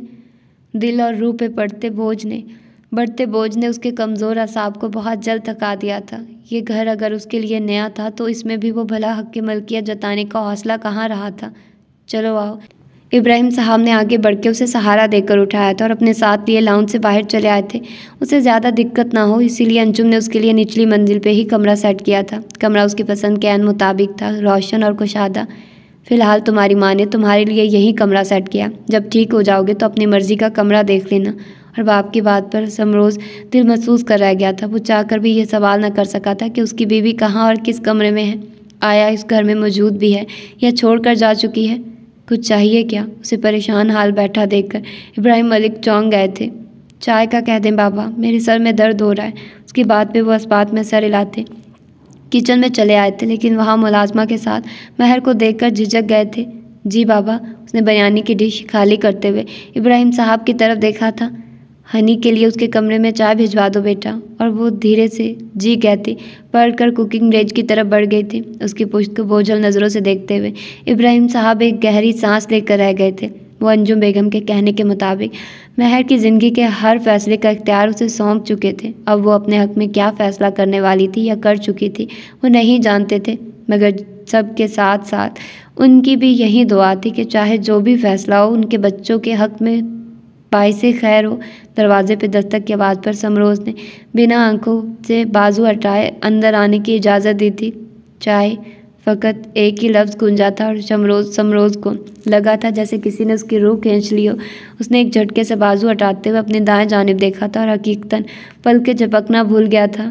महर उसकी सरगोशी में बरसों की प्यास थी। वो बिना आँखों का तलसम तोड़े धीरे से उठ बैठा था। उसका यक्ति खुद को देखे जाना महर को झिझक कर निगाहें झुकाने पे मजबूर कर गया था। और ये मंजर समरोज़ को उस वक्त की याद दिला गया था जब पहली बार वो और महर एयरपोर्ट पे रूबरू हुए थे। उसकी आँखें बेख्तियार झुलमिला उठी थी।